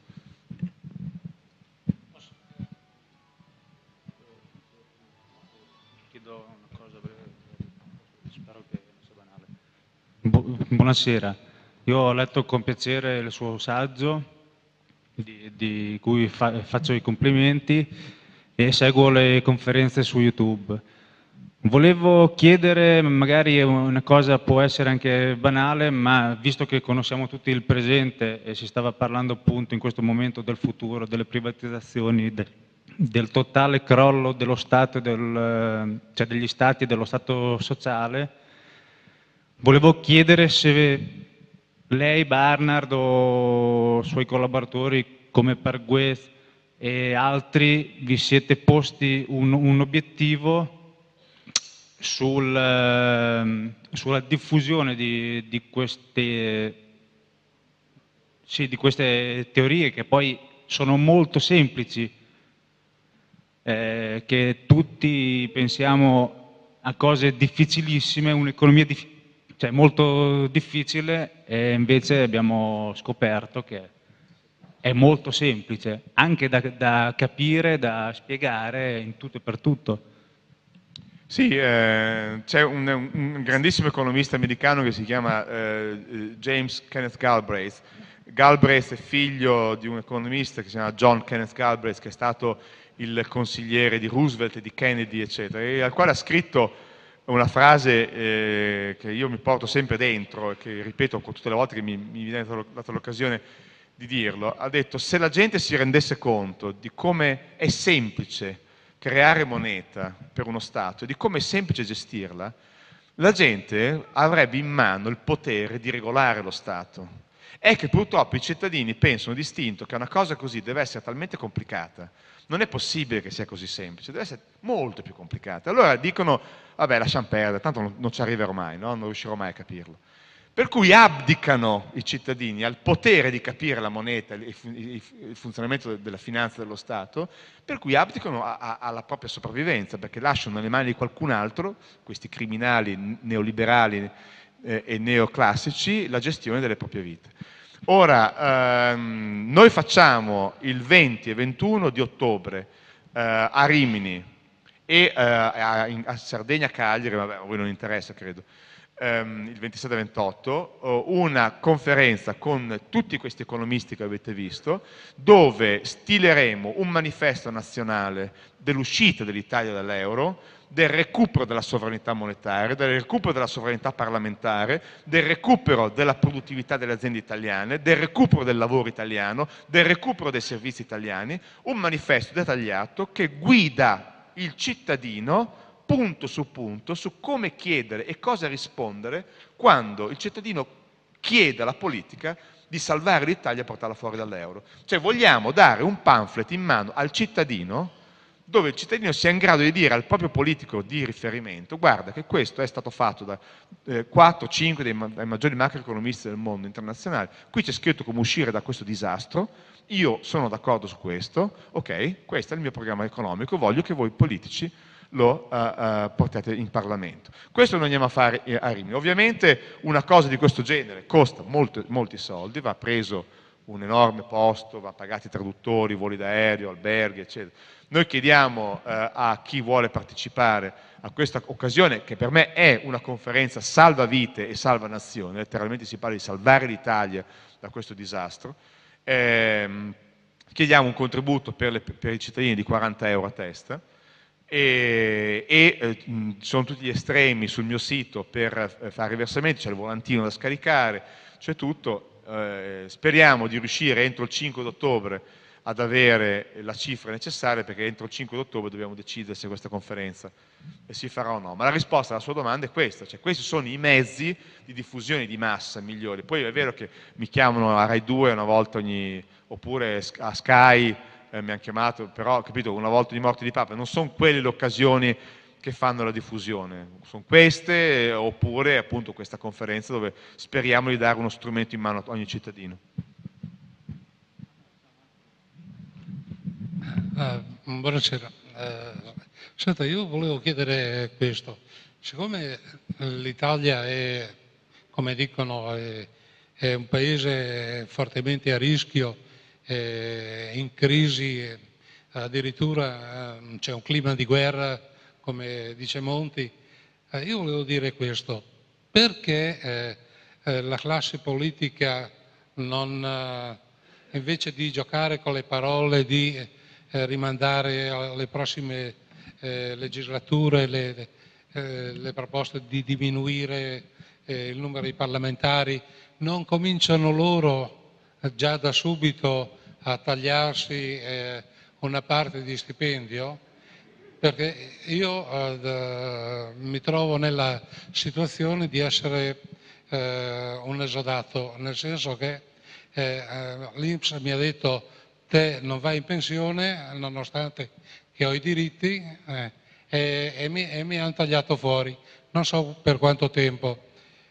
Allora io dico questo, eh, eh, rovinando me, che sono un operaio, non è che io salvo l'Italia, però eh, se i politici, eh, se quelli che prendono le pensioni d'oro eh, cominciassero già a ridurle da lì, non si potrebbe ottenere già qualcosa di più? Ma, ehm, guardi, eh, questa è una cosa importante perché purtroppo è diventata una retorica nazionale eh, devastante dal mio punto di vista. Lei deve capire eh, l'ampiezza dei conti di uno Stato. Gli, gli stipendi della casta, così come viene chiamata oggi, sono eh, i, i spiccioli del caffè nei conti dello Stato. Cioè, io potrei anche avere un Parlamento che lavora gratis e riuscire a salvare in Italia, non so, capito, un, uno 0,2% dell'economia, ma forse meno dello 0,2%. Lei deve capire che noi siamo un paese che ha bisogno di eh, 3, 400, 500 miliardi di euro di finanziamenti ogni 2, 4, 6 o 8 mesi. Cioè, non, non metti insieme 400 miliardi di euro con gli stipendi dei parlamentari. Mi permetta, non, non, paga le infrastrutture, non paga i servizi pubblici, non paga le strade, non paga gli stipendi, non, non, paga la cassa integrazione, non ce la può fare in quel modo. Questa è una retorica completamente vuota, sciocca, stupida e, scusatemi, idiota, che è portata in giro per l'Italia da questi falsari dell'informazione che vendono libri, gadget, fanno spettacoli teatrali, prendono per il culo gli italiani da, da 15 anni e non sanno di cosa parlano non eh, si va da nessuna parte. Io sarei dell'idea di triplicare lo stipendio dei nostri parlamentari a patto che mi applicassero questa politica economica. Io glielo triplico lo stipendio a un parlamentare, gli do 50 auto blu, anche alla moglie, non me ne frega niente, ma se tu mi apri questa roba qua, tu mi porti il paese dalla rovina alla ricchezza. E guarda, puoi essere ricco quanto vuoi, non me ne frega niente.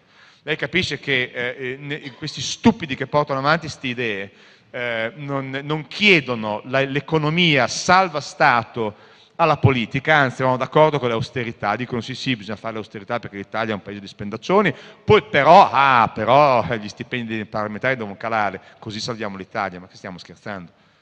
Ma cosa salviamo? Ripeto, guardi, non salviamo neanche gli spiccioli del caffè dell'Italia, mi, mi creda, queste sono cose, sono, purtroppo a me danno un fastidio tremendo perché sono perdite di tempo e hanno 500 volte la visibilità che ha l'economia seria di cui stiamo parlando noi.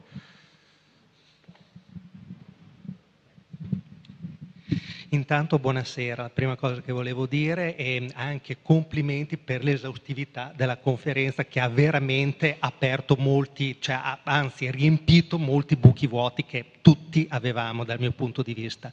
Quello che volevo chiedere non ha a che fare su come ne potremo uscire e quant'altro. Io volevo soltanto togliermi due curiosità. Una che non, non avevo ben capito in un discorso. La Germania ha barato che c'era ancora il marco oppure ha barato che c'era, anche, cioè che c'era già l'euro? Questa è la prima domanda. La seconda domanda, alla quale tengo particolarmente, fra le varie balle o palle che hanno raccontato in tutti questi anni, ce n'è una in particolare.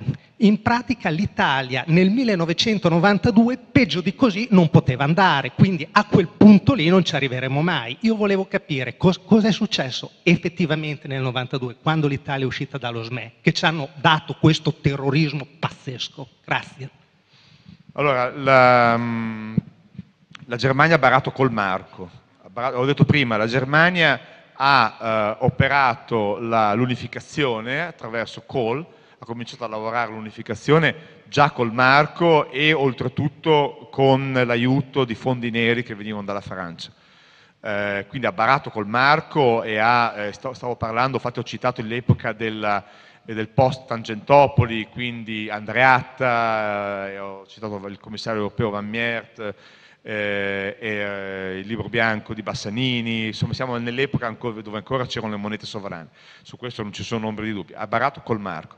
Il discorso del 92 è questo, ehm, l'Italia era nello SME, cioè quindi cos'era successo? È un, un altro, era un, diciamo, un mini euro, per capirci, cos'è? Sempre la Germania, perché questi, questi cercano sempre di fregarci. Guardate, io lo dico una cosa, questo ricordatelo, la Germania ha accettato l'euro per fottere l'Italia. Questo io ve lo do per 100%, perché non c'era motivo per la Germania di rinunciare al marco se non in cambio della distruzione della base industriale italiana. Perché ricordatevi quel grafico della Banca d'Italia, la Germania era sotto l'acqua era sotto, non riusciva a uscire dal buco industriale in cui si era cacciata, d'accordo? L'Italia era la prima produzione industriale in Europa, la metalmeccanica italiana, l'industria italiana, il manifatturiero italiano stava rovinando la Germania.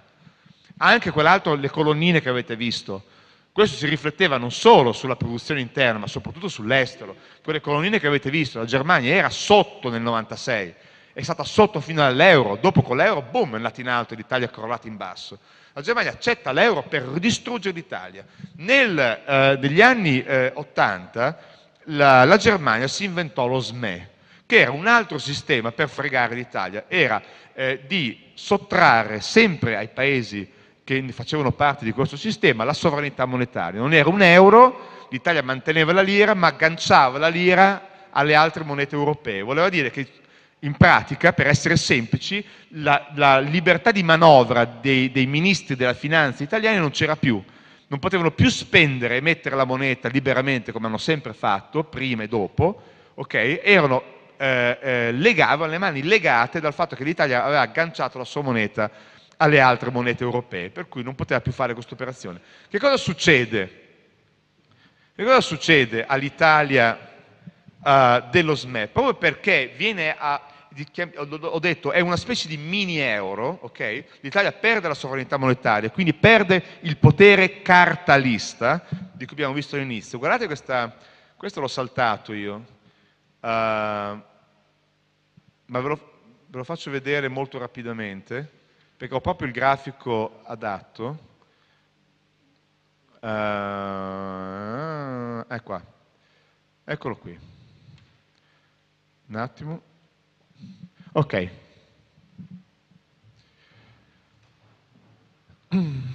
Questa è l'Italia che entra nello SME negli anni 70. Questi qui siamo sempre alla bilancia commerciale, cioè il potere dell'Italia di vendere la propria produzione industriale all'estero in concorrenza ovviamente con gli altri paesi, in particolare con la Germania.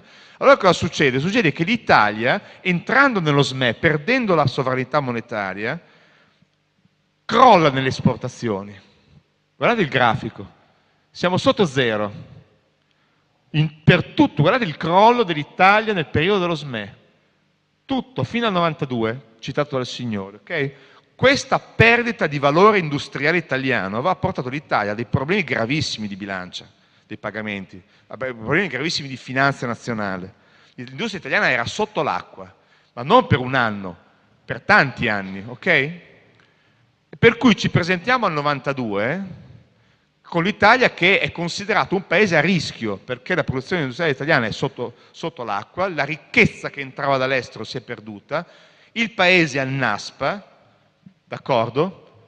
E nel 92 si parla di una crisi epocale dell'Italia, di un default, addirittura si arrivò a parlare proprio del default dell'Italia, no? l'Italia non non ce la fa più. Perché? Vi ricordate sempre questo schema? Lo schema delle frecce. Allora, o i soldi qua da noi entrano in questo modo o entrano in questo modo. Qui si era chiuso il rubinetto completamente. L'Italia aveva un ammanco finanziario spaventoso lo Stato faceva fatica a eh, ehm, intervenire proprio perché ignorante eh, delle potenzialità libere di una moneta cartalista, faceva fatica a intervenire, avrebbe potuto facilmente intervenire, ma faceva fatica a intervenire ad ampliare questa freccia che era già ampia, ma ad ampliarla tanto quanto era necessario a sopperire per la chiusura di questa freccia, l'Italia si presenta con dei problemi economici spaventosi nel 92. Okay? Poi cosa succede?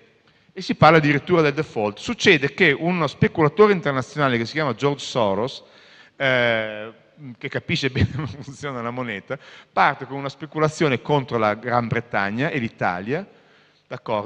Eh, L'Italia non riesce a sostenere eh, eh questa, eh, questa, svendita, questo crollo del valore della lira italiana causata dalla speculazione di questo singolo speculatore internazionale che chiama George Soros, eh, eh, il, il, sistema monetario europeo vede l'Italia che non può più sostenere la propria posizione al suo interno, Italia e Inghilterra escono dallo SME, lo SME crolla, finisce. Cioè quello che dovrebbe succedere oggi, che io auspico succeda oggi, che ci sia un crollo del sistema euro per cui l'Italia esce, se ne va. No? Il default dell'Italia sarebbe la fortuna dell'Italia avere la scusa, il pretesto per schizzare fuori da questa trappola. Nel 92 l'Italia fa il botto, non ce la fa stare dentro lo SME a causa di questa speculazione, di colpo esce, ma di colpo, dalla mattina alla sera. Guardate, guardate il grafico. Non so se vi capite cosa dice il grafico.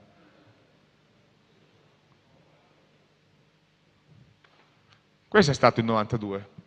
E questa è di nuovo la dimostrazione, infatti lo metto nella mia presentazione prima di questo, quella di nuovo la, la dimostrazione che quando si recupera la piena sovranità monetaria, il Paese in un modo o nell'altro riesce a risollevarsi, o tornando a, diventare competitivo internazionalmente o, di, o rimanendo competitivo e, e ricco eh, all'interno. Buonasera. Eh, premetto che io sono completamente digiuno di eh, economia e di qualsiasi tipo di questi argomenti, eh, però mi è sembrato molto semplice capire quello che lei ha esposto. E mi sembra mh, paradossale che nei 70 anni che lei illustrava nessuno si sia accorto, nessuno abbia fatto niente, non ci sia nemmeno nessuna parte politica, né di destra né di sinistra, chiunque noi abbiamo cercato di eleggere che ha Mm, minimamente denunciato, capito quello che stava succedendo. Era, è semplice, eh, lei anche nella risposta all'ultima domanda che ha fatto il signore ha parlato sempre di eh, in qualche modo inganni che sono stati fatti. Eh, Come è stato possibile questo? Visto che è così semplice. Guardi, eh, la risposta è, semplice, anche la risposta.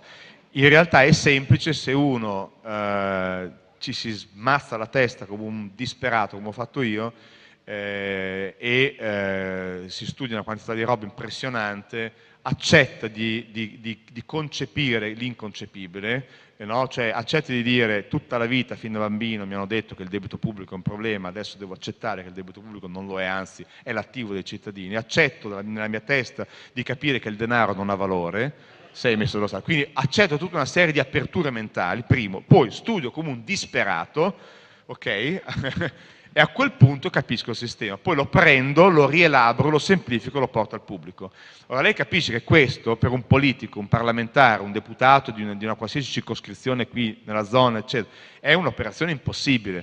Primo perché sono in media delle persone molto mediocri, in secondo luogo perché non hanno il tempo, non hanno la voglia, eh, e la politica funziona in questo modo. Io nel mio saggio ho descritto eh, con le prove, i nomi, i cognomi, eccetera, come funziona il lavoro della lobbistica. Che cos'è la lobbistica in politica? I, I, lobbisti e le think tank che producono i lobbisti sono organizzazioni dove eh, si eh, fanno dei riassuntini semplici semplici dei temi dell'economia, eh, della scienza, della medicina, eh, dell'agricoltura, dell'industria, eccetera, molto semplici, semplificati, li si sottopongono ai politici e si dice ai politici, quando andate in Parlamento, quando andate a fare i comizi, quando siete in televisione, dite questo. Allora, eh, non so, la quota latte. Quote latte. Eh, il parlamentare di qui della zona è che di mestiere faceva il medico e che non sa niente di economia, delle quote latte non capisce niente, agricoltura meno che meno, cosa cavolo va a dire in Parlamento sulle quote latte? Va da Santoro, cosa dice delle quote latte? Schemino. Tac.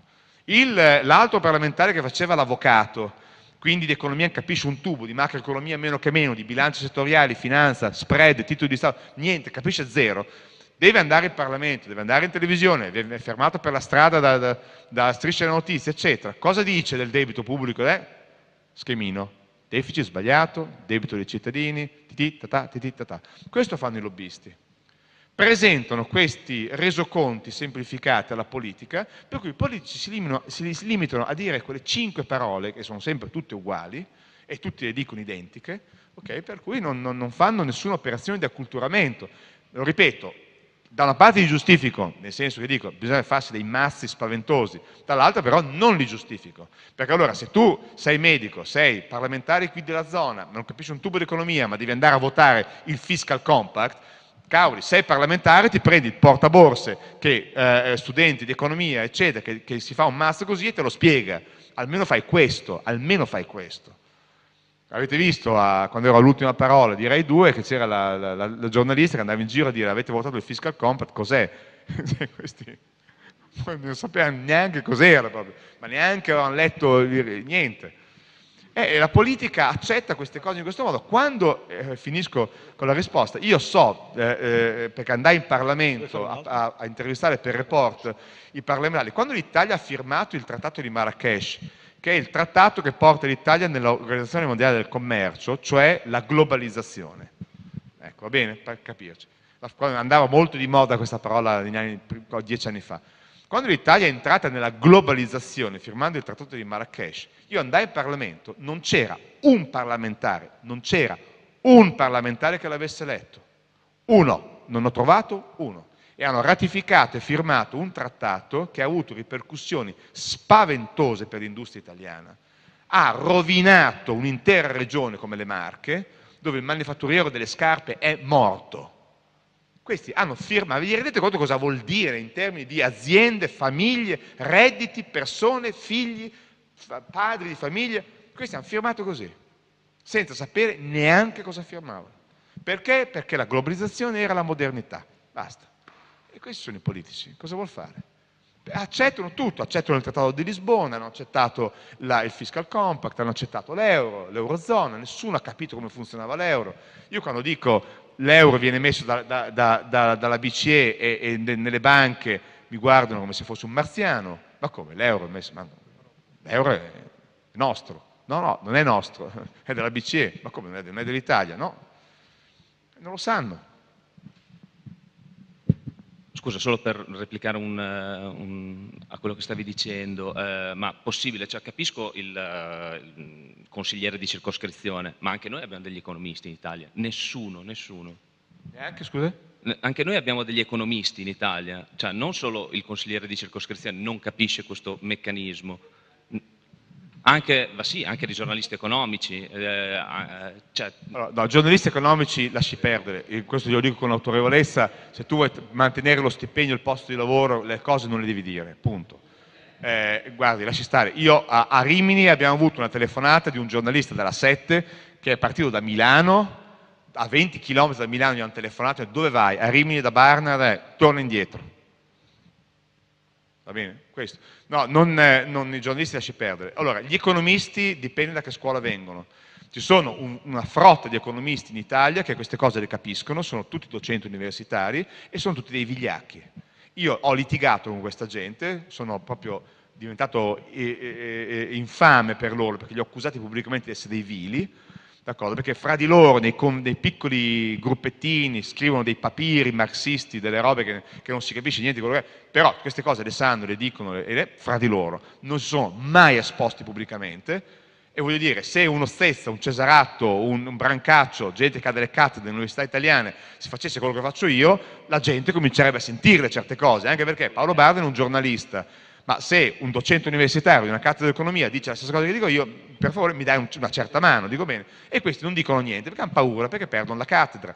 Ok? Ecco, questo è il discorso. Poi ci sono tutta un'altra serie di economisti che sono formati dall'altra scuola, che è quella vincente, la scuola neoliberista e neoclassica, e questi diranno tutte le cose che dice Boeri, Giavazzi, che dicono i Monti e tutta questa gente qua però ah, ci sono delle note eccezioni, un, economista molto noto, molto noto, molto in alto, che è Giulio Sapelli, che è un uomo dell'ENI, è stato un grandissimo eh, tecnocrate, dirigente dell'ENI, eh, insegna a Milano all'università, eccetera, eccetera. Andatevi a cercare Giulio Sapelli, la 7, eh, da Lilly Gruber, andate a sentire cosa diceva, cosa ha detto dell'economia, dice le stesse cose che dico io, peggio, insulta Monti, dice che è un ignorante, che, sta, che l'euro ha portato l'Italia alla rovina, dice esattamente le stesse cose che dico io, ma ce n'è uno, Giulio Sapelli, uno.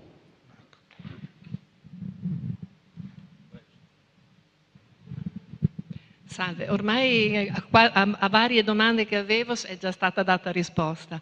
Eh, volevo dire, eh, io ho letto recentemente il tuo libro eh, ed è stato, ho apprezzato molto la lucidità e la passione con cui l'hai scritto e, le, e il lavoro che stai facendo, lo apprezzo, motivo per cui sono, ho fatto un'ora di strada per venire qua, è vero a Rimini immagino.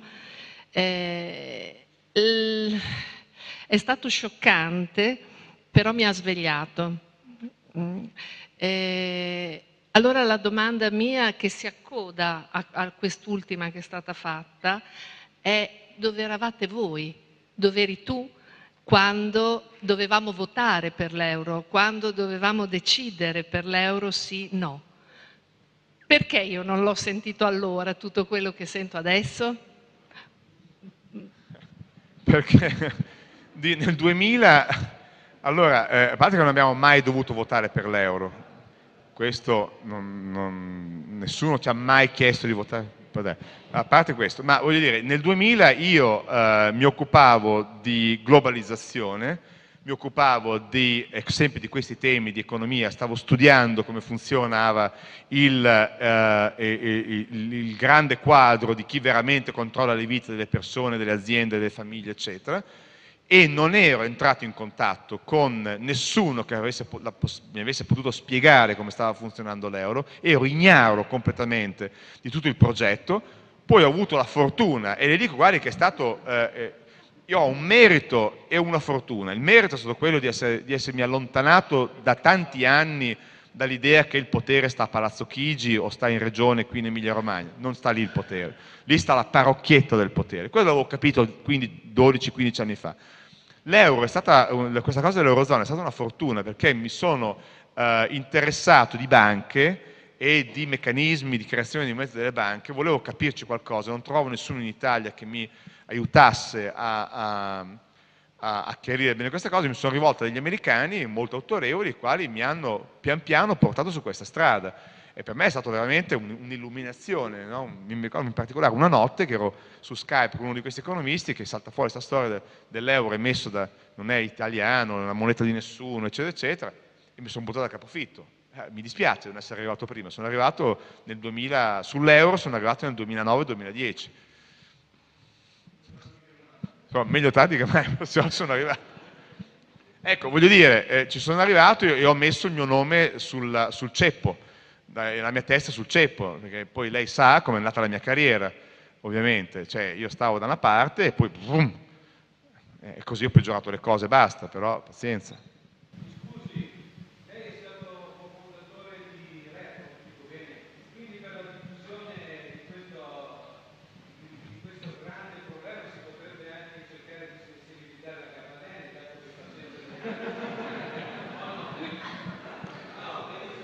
No, A Gabanelli si tiene stretta una poltrona che si è coltivata con tanti anni di... Ma scusi, ma, ma, guardi, voglio dire, mi permetta, secondo lei in questo paese si riesce a stare in prima serata in televisione cinque anni con Silvio Berlusconi se uno è una persona libera? Gabanelli è stata cinque anni con lì no. e, non, e non è una persona libera.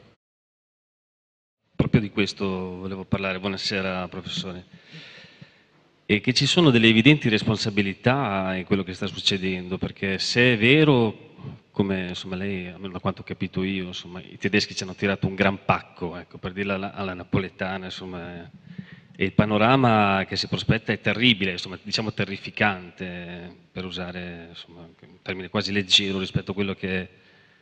Adesso non so se anche nella platea se ne renda conto, però effettivamente insomma, quello che lei ha descritto è una, è una una cosa di, pro, di proporzioni catastrofiche. Allora, eh, quanta responsabilità hanno questi vigliacchi a cui lei faceva riferimento? Cioè, gli va presentato anche un conto oppure insomma, va tutto bene così? Cioè, ritorniamo nella lira e, e, va tutto bene. E nel caso in cui non riuscissimo insomma, ad uscire dall'euro e a tornare nella lira, cioè qua il conto a mio figlio cosa gli dico? A chi lo deve presentare? I tedeschi o ai vigliacchi che hanno venduto no, l'Italia? Il conto non si può chiedere, eh, ovviamente in termini economici non si può chiedere il conto. Noi dobbiamo riprenderci una sovranità parlamentare e monetaria, dobbiamo rilanciare il Paese alla grande e molto di più di quello che l'abbiamo rilanciato dagli anni 70 e il conto non si può chiedere a nessuno in realtà. Quello che si può fare è, e io l'ho fatto, e io alcuni e pochi l'abbiamo fatto, è chiedere un conto eh, giudiziario. Io auspico che siano eh, eh, incriminati e arrestati eh, personaggi come Draghi, Monti, come Napolitano, come i, i burocrati italiani che lavorano in Commissione europea, cioè gente che coscientemente, perché sono tecnici, eh, hanno, e il discorso di Napolitano è separato, eh, sono tecnici che hanno coscientemente e scientemente consegnato il paese alla distruzione alla rovina, consegnato al paese a sofferenze umane che sono incredibili. Cioè, a parte quello che va sul giornale che è l'imprenditore che si dà fuoco, ma cioè, come vive un, una persona tutte le sere in casa propria quando eh, eh, ha, ha, ha, vede il lavoro di una vita distrutto perché ha un, un libro ordine da, 600.000, da, da, da, da 6 milioni di euro e la banca non ti dà 5.000 euro, non te ne dà 10.000, capito? Cioè con 6 milioni di euro di, di, di ordini sul libro, e questa è una realtà, un'imprenditrice nome e cognome, gliela posso presentare, ci ho parlato l'altro giorno, sono andato in banca, ho chiesto 10.000 euro, non me li hanno dati, ho le macchine ferme, latteristi, fa dei latteristi, l'azienda ferma, con ordini che piombano da tutte le parti. Cioè, voglio dire, come si sente una persona così, come si sente una persona che, che, che, che appunto una persona in mobilità, un, un esodato. Cioè, voglio dire, ragazzi, ma sono sofferenze umane che sono spaventose. Allora, questa gente che è responsabile di crimini sociali, perché poi queste cose si riflettono sui figli, perché in famiglia non si cresce bene quando papà è a casa dal lavoro, capito? Scappano le mani, c'è nervosismo, eh, eccetera. Allora, si riflette sui figli, il bambino si ricorda degli anni che ha vissuto in quelle condizioni, sono destini tarpati perché quel bambino poteva fare un'altra cosa nella vita e non la potrà fare perché è successo quello che è successo. Tutto questo calcolato a tavolino, tutto questo voluto da questi eh, criminali che, che, che, vogliono distruggere il sistema economico del Sud Europa. Voglio dire, questa è gente che va incriminata e arrestata. Ci sono i, i, gli articoli del codice di procedura penale che abbiamo citato nella denuncia, io li ho denunciati. Eh, quindi il conto lo chiedo così, con una denuncia penale. Sì, il punto che io partirei proprio da lì, insomma, con una delegittimazione di tutto quello che è stato fatto, arrestando queste persone, incrimina incriminandoli di crimini insomma, efferati. Eh? Ha ragione, eh, però vede, il problema è questo, io ho lanciato questa denuncia, io e un altro avvocato, un avvocato non sono avvocato, è un avvocato che si chiama Paolo Muso, abbiamo lanciato questa denuncia, però la risposta cos'è stata? Poche centinaia di persone. Se in Italia 30.000 persone denunciavano, era una notizia che andava sul New York Times, capisce, le cose cominciavano a cambiare. Son, è così che si, le, che si, cambiano le società, ragazzi, eh? con un po' di coraggio, ma è una cosa che non ha avuto successo. Il conto lo chiederei in questo modo, altro non c'è da chiedere. Io volevo parlare di fantascienza, diciamo che ci si riesce, eh? che quindi rinsaviscono improvvisamente chi ci sta governando, usciamo dall'euro, ci riprendiamo la nostra moneta cosa ci dobbiamo aspettare? Nel senso che io non credo che chi finora ha cercato per ben due volte, anzi ci è riuscito per ben due volte, a tirarci dentro un meccanismo di spossessamento della sovranità monetaria, se ne possa stare tranquillo a vederci uscire. Anche perché quando solo la Grecia ha accennato alla possibilità, si sono affrettati a finanziare per evitare il famoso default, quindi mi pare che Esatto, allora il, la risposta completa, esaustiva alla sua domanda è nel, nel summit del 20 e del 21 a Rimini dove per due giorni questi grandi economisti ci faranno il manifesto completo dell'uscita dell'Italia dall'euro con tutti i passaggi, cioè tutto quello che va fatto per uscire e per uscire bene e per continuare ad andare bene dopo l'uscita dall'euro. Eh, eh, ok, vedremo di fare il possibile. Magari, ma il problema è che bisogna vedere se riusciamo a fare il summit in sé, perché per adesso le donazioni non stanno arrivando molto, per cui dobbiamo raccogliere una cifra molto alta e speriamo che la gente aderisca, anzi invito. Vabbè, comunque non, poi non, voglio, non vado a fare le serate a chiedere, chiedere i soldi, ma eh, per dire in breve, eh, quello che ci si può aspettare per un'uscita dell'Italia dall'euro gestita in, con questa economia, secondo la Modern Money Theory, è un paese che eh, non solo si rilancia, ma probabilmente porta giù, porta al crollo l'intera Eurozona. Eh, e, e, questo fra l'altro col, col, risultato di eliminare alla radice tutto il debito che abbiamo denominato in euro, fra l'altro, che se ne va in fumo. Eh, quindi già dici è un bel guadagno. L'Italia può uscire dall'euro ehm, creando la piena occupazione, creando il pieno rilancio delle sue infrastrutture, la moneta italiana, la nuova lira si apprezzerebbe immediatamente perché diventa una moneta di cui c'è un grande bisogno in tutto il paese perché bisogna pagare le tasse in, in lire. Chi ha l'euro vende euro per comprare lire, si deprezza l'euro, si apprezza la moneta, non solo questo, ma lei deve capire che nel momento in cui uh, il paese recupera la propria sovranità di spesa, recupera anche la sovranità di... Uh, di eh, pagamento dei titoli di Stato. Cioè, qual è il problema di oggi?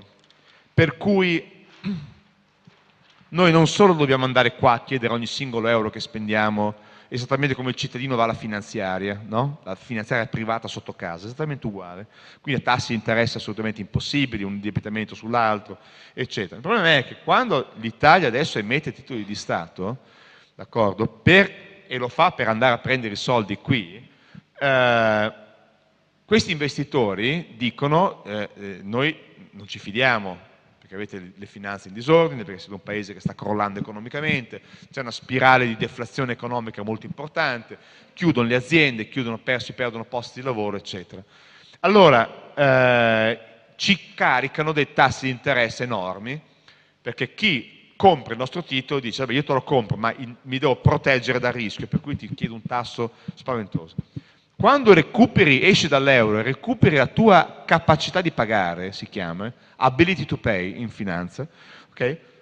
questo motivo decade, sparisce completamente. L'investitore non ha più timore che questo Stato non sia più in grado di onorare i titoli di Stato che compra, crolla completamente la paura, cioè si sparisce, si dissolve, perché si capisce, chi conosce la moneta capisce che questo Stato può trovare tutto il denaro che vuole per onorare i titoli perché semplicemente se lo inventa. Per cui i rendimenti dei titoli di Stato crollano, allora l'Italia diventa un paese che ritorna immediatamente affidabilissimo. L'investimento in Italia è affidabile, gli investitori tornano, ma tornano perché con tutto il rispetto non vanno a investire in Grecia, non voglio essere, per carità, capito? Ma l'Italia è un'altra cosa dalla Grecia. Abbiamo, avevamo la più grande industria in Europa, abbiamo delle infrastrutture moderne, abbiamo una capacità aziendale che è la prima al mondo. No, era, ma è ancora potenzialmente la prima al mondo. Cioè noi facciamo le scarpe a tutti, all'America, al Giappone, a chiunque, come piccola e media impresa. L'investitore torna a investire in Italia. Capisce? A frotte, queste cose sono molto chiare e sono le cose che non si vuole che il pubblico sappia, perché il pubblico deve essere, rimanere nel terrore che l'uscita dell'Italia dall'euro vuol dire che andiamo nello Zimbabwe. È esattamente il contrario, siamo oggi nello Zimbabwe e, e andiamo, torniamo in Italia uscendo dall'euro, capisce? Eh. Innanzitutto buonasera, volevo sapere se la MMT c'è già qualche paese che usa questo metodo di moneta e in che modo stanno andando? Ecco. Certo, c'è un paese che usa la MMT senza ovviamente ufficialmente eh, dire che è MMT e che credo che economicamente stia andando piuttosto bene, che si chiama la Cina. Cina fa la MMT. Poi c'è un altro paese che fa la MMT in un settore molto particolare che ha fatto molto bene da un certo punto di vista, si chiama Wall Street. Eh, JP Morgan, Morgan Stanley, eh, Bank of America, e uh, Wacovia e c'è un'altra e un'altra eh, che adesso non mi viene in mente, sono banche che hanno ufficialmente adottato l'analisi la, la, del funzionamento dei, dei, dei del funzionamento del, fissamento dei tassi di interesse eh, espresso dalla MMT per eh, guadagnare quello che hanno, guadagnato in questi anni, perché hanno capito benissimo che laddove esisteva una sovranità monetaria i tassi avevano fatto un certo percorso, cioè al crollo, come è successo in America, come è successo in Giappone, in Inghilterra, dove adesso i, i tassi sono al livello più basso della, nella storia del paese da, da, da, da sempre eh, e hanno scommesso su questo, hanno fatto dei miliardi. Comunque la Cina usa la MMT, l'Argentina ha usato, eh, per uscire dal default argentino, ha usato una parte di MMT, nel periodo in cui ha usato anche solo una parte di MMT, ha avuto in tre anni la maggiore crescita economica al mondo, dopo tre anni dal default l'Argentina era il paese che cresceva di più al mondo, aveva una crescita dell'8% poi ha smesso di usare quella parte di MMT ed è ritornato ad avere dei problemi, nonostante sia ancora un paese che va, che va piuttosto bene nella media su, su Modern Money Theory, la, la, teoria economica, che, molto di quello che vi ho spiegato, cioè proprio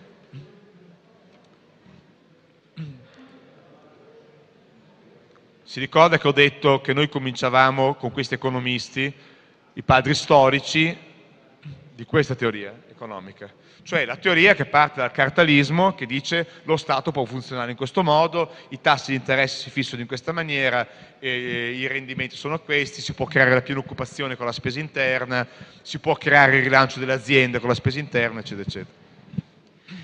Volevo fare un'altra domanda abbastanza poco bella, perché dal momento che gli italiani sono un popolo che hanno sempre paura del cambiamento e nonostante la rovina pensano che chi stia al governo dopo tutto abbia sempre ragione, la domanda è questa. Poniamo l'ipotesi negativa che Monti vada avanti, si candidi alle prossime elezioni e vinca.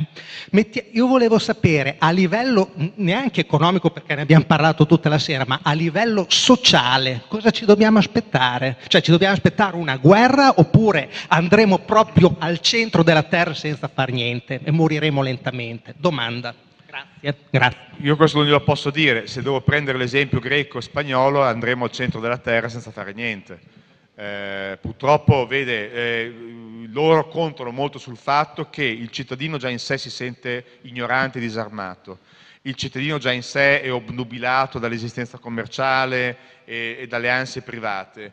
Eh, in più eh, l'effetto depressivo eh, di una crisi deflazionistica di questo genere, quando tu hai intorno a te l'economia che si sta sbriciolando, chiudono i negozi, chiudono i, i, le aziende, la gente ti arriva a casa, nel tuo quartiere già c'hai 1, 2, 10, 50, 100 disoccupati, l'effetto depressivo di questo deprime ancora di più la, la, loro contano sul fatto che la gente è angosciata, depressa, smarrita, ignorante, ignorante nel senso di non conoscitrice dell'economia, eh, alla fine rinuncia, non sa come muoversi, non sa come fare, semplicemente subisce.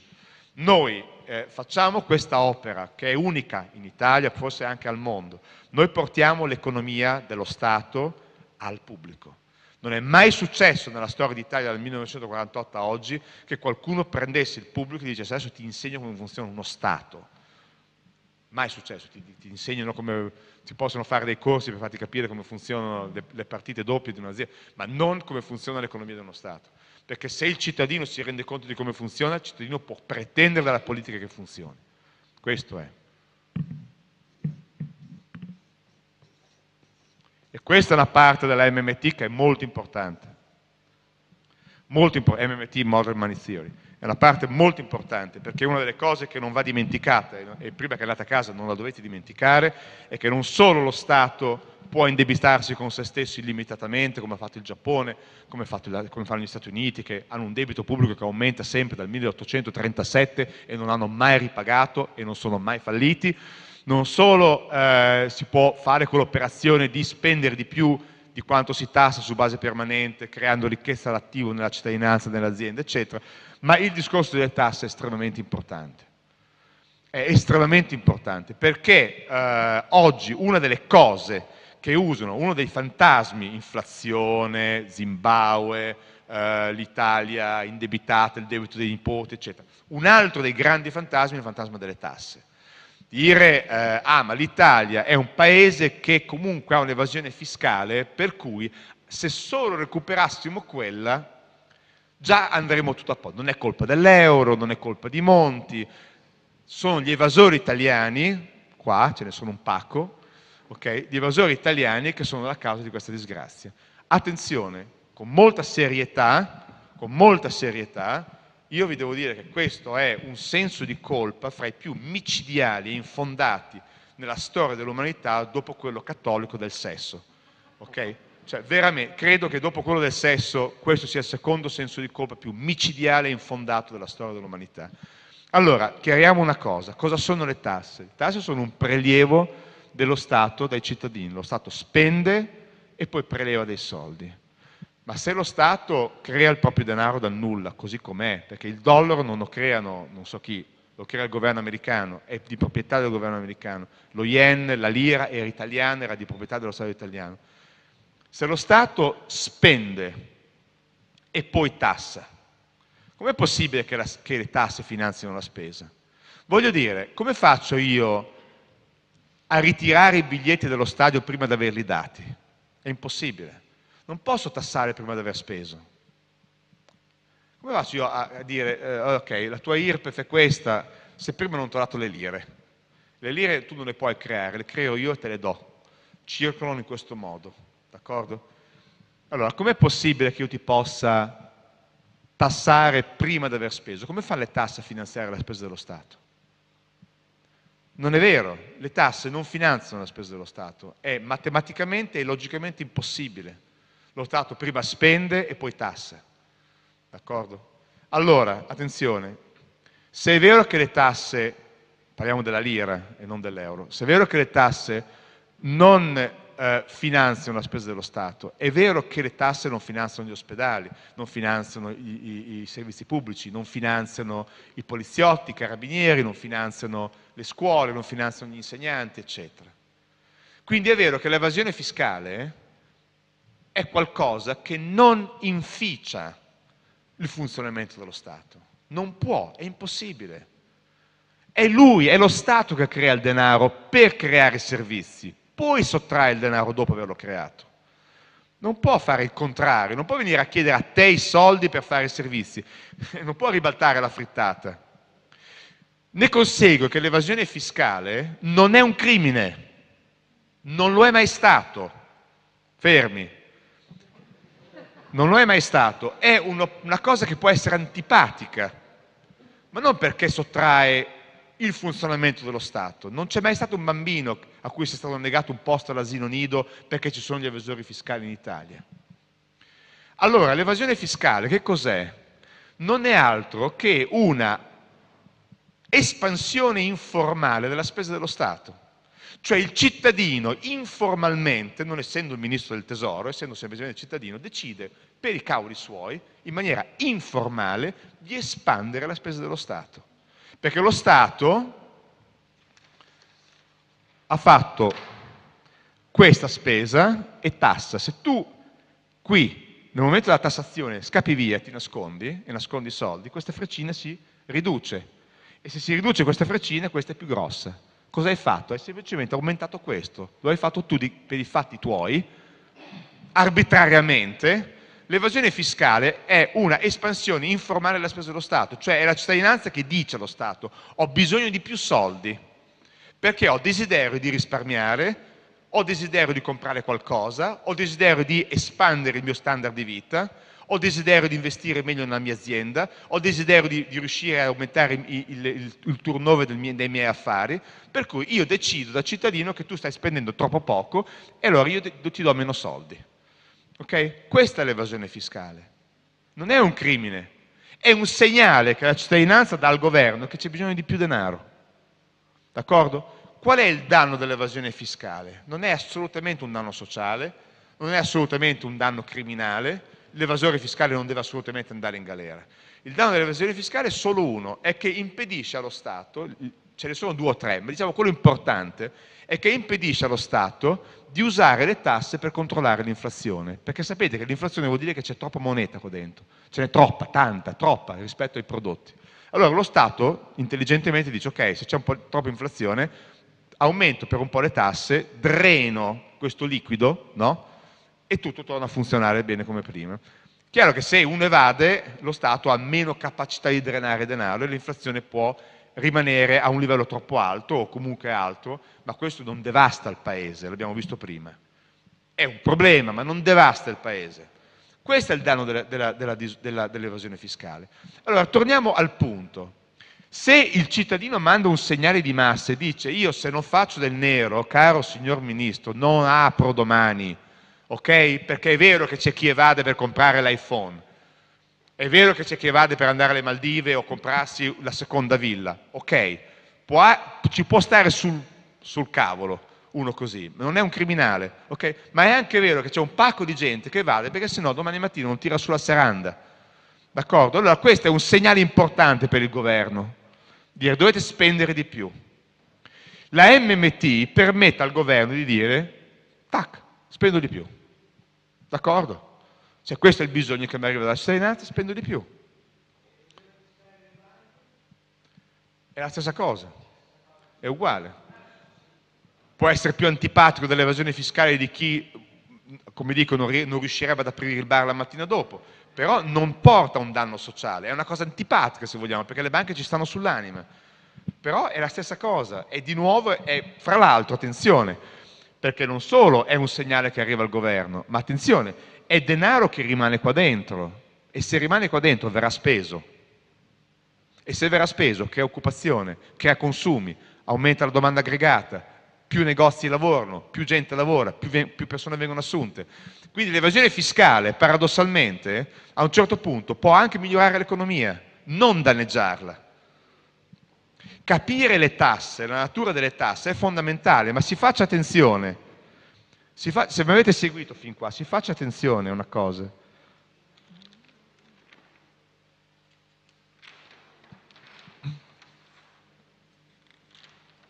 Attenzione a una cosa, tutto quello che ho detto sulle tasse e che è sacrosanto, non solo per la modern money theory, è sacrosanto in macroeconomia, d'accordo? E eh, fra l'altro ci sono le testimonianze anche di grandi eh, eh banchieri centrali come Bernanke Bernanke o Greenspan che lo hanno detto tante volte durante le interviste, sì ok, le, le tasse non vengono pagate, sono un'espansione, bisogna solo stare attenti all'inflazione. Ma attenzione qua, questo è il sistema euro. Se è vero che questo signore che è il governo, ed è vero, deve andare da questo sistema di investitori privati per avere ogni singolo euro che spende, in questo sciaguratissimo sistema è anche vero che il governo ha bisogno delle vostre tasse per funzionare perché il governo non è proprietario della moneta. D'accordo? Quindi se qui evadiamo le tasse, qui sottraiamo al governo dei fondi veri, reali. Con l'euro l'evasione fiscale è diventata un crimine. È vero che con l'euro se uno non paga le tasse può chiudere una scuola, può chiudere un ospedale, perché questo governo qua, ridotto in queste condizioni miserabili, deve pescare dovunque possa, tagli alla spesa, tasse, titoli di Stato venduti a questi signori per riuscire ad avere la moneta. A queste tre strade, basta. Questo vi fa capire ancora di più, alla tarda ora che siamo arrivati, che razza di crimine è aver accettato l'euro. Non solo tutto quello che abbiamo appena detto, ma anche questo fatto che adesso lo Stato non può più usare la leva delle tasse. Voi pensate che in America in questo momento ci sono dei politici nel Partito Repubblicano che chiedono l'annullamento, l'azzeramento delle tasse sul lavoro. Ma non sono dei deficienti che fanno i giocolieri per la strada, sono dei parlamentari americani, sanno quello che dicono. In America si può fare, hanno una moneta sovrana, possono chiudere completamente quel tipo di tassazione. Cioè la possibilità del governo a questo punto di ridurre le tasse in un momento di recessione per risollevare le aziende italiane sarebbe con la MMT, con la Modern Manizioli, è totale. Tagliamo il costo del lavoro italiano a zero, a zero. Lo Stato non perde gli asili nido, non perde gli ospedali, non perde gli infermieri, non perde gli autobus, non perde le scuole, ripara le strade, più di prima. Questa è la realtà dell'economia sovrana, con moneta sovrana, è un, un capitolo importantissimo ed è veramente dal mio punto di vista angosciante, ma angosciante che siamo qua con gli imprenditori che, che urlano giustamente, abbiamo il 61% di tasse e stiamo chiudendo le aziende, mandiamo la gente a casa, ma porca miseria, quando qui potremo non solo non chiudere le aziende, ma toglierle anche le tasse. Certo, in maniera selettiva, va bene, togliere le aziende in difficoltà, quello che ti pare, ma lo puoi fare.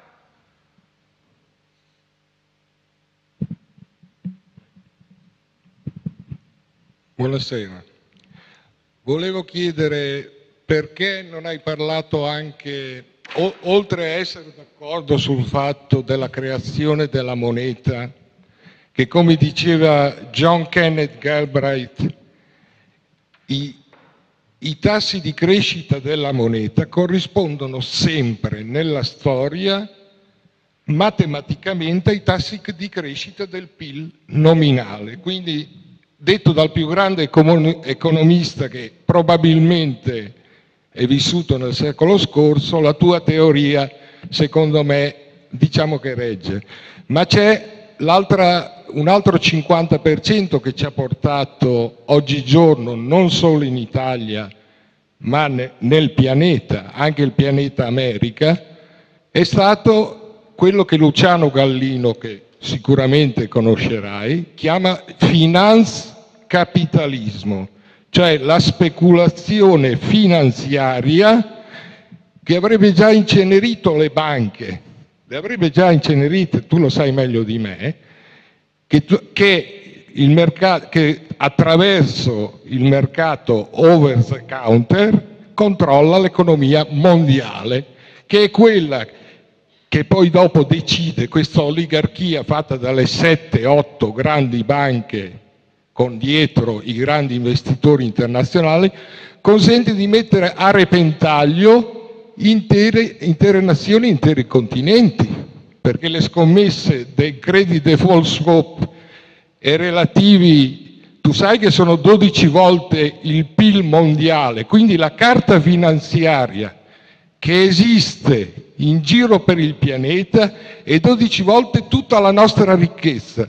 Quindi questa, la carta esisterebbe pure, solo che mettono a rischio la sopravvivenza sia delle banche e quindi la nostra sopravvivenza, lo sfruttamento delle nostre vite, perché poi ti chiedono di lavorare anche a 500 euro, 600 euro, perché dicono che c'è la concorrenza, c'è la crisi, le banche non hanno soldi da elargire, quando le banche lavorano la più grande banca d'Europa, la Deutsche Bank, lavora a leva 1 a 50, una volta e mezzo il PIL tedesco, se succede un imprevisto, la Deutsche Bank si beve il governo tedesco nel giro di sei mesi. E sappiamo benissimo che le banche tedesche hanno dentro di sé delle bombe, delle bombe perché sono esposte per tre volte il PIL tedesco, solo che questo alla comunità europea Draghi e neanche Monti lo raccontano perché sai,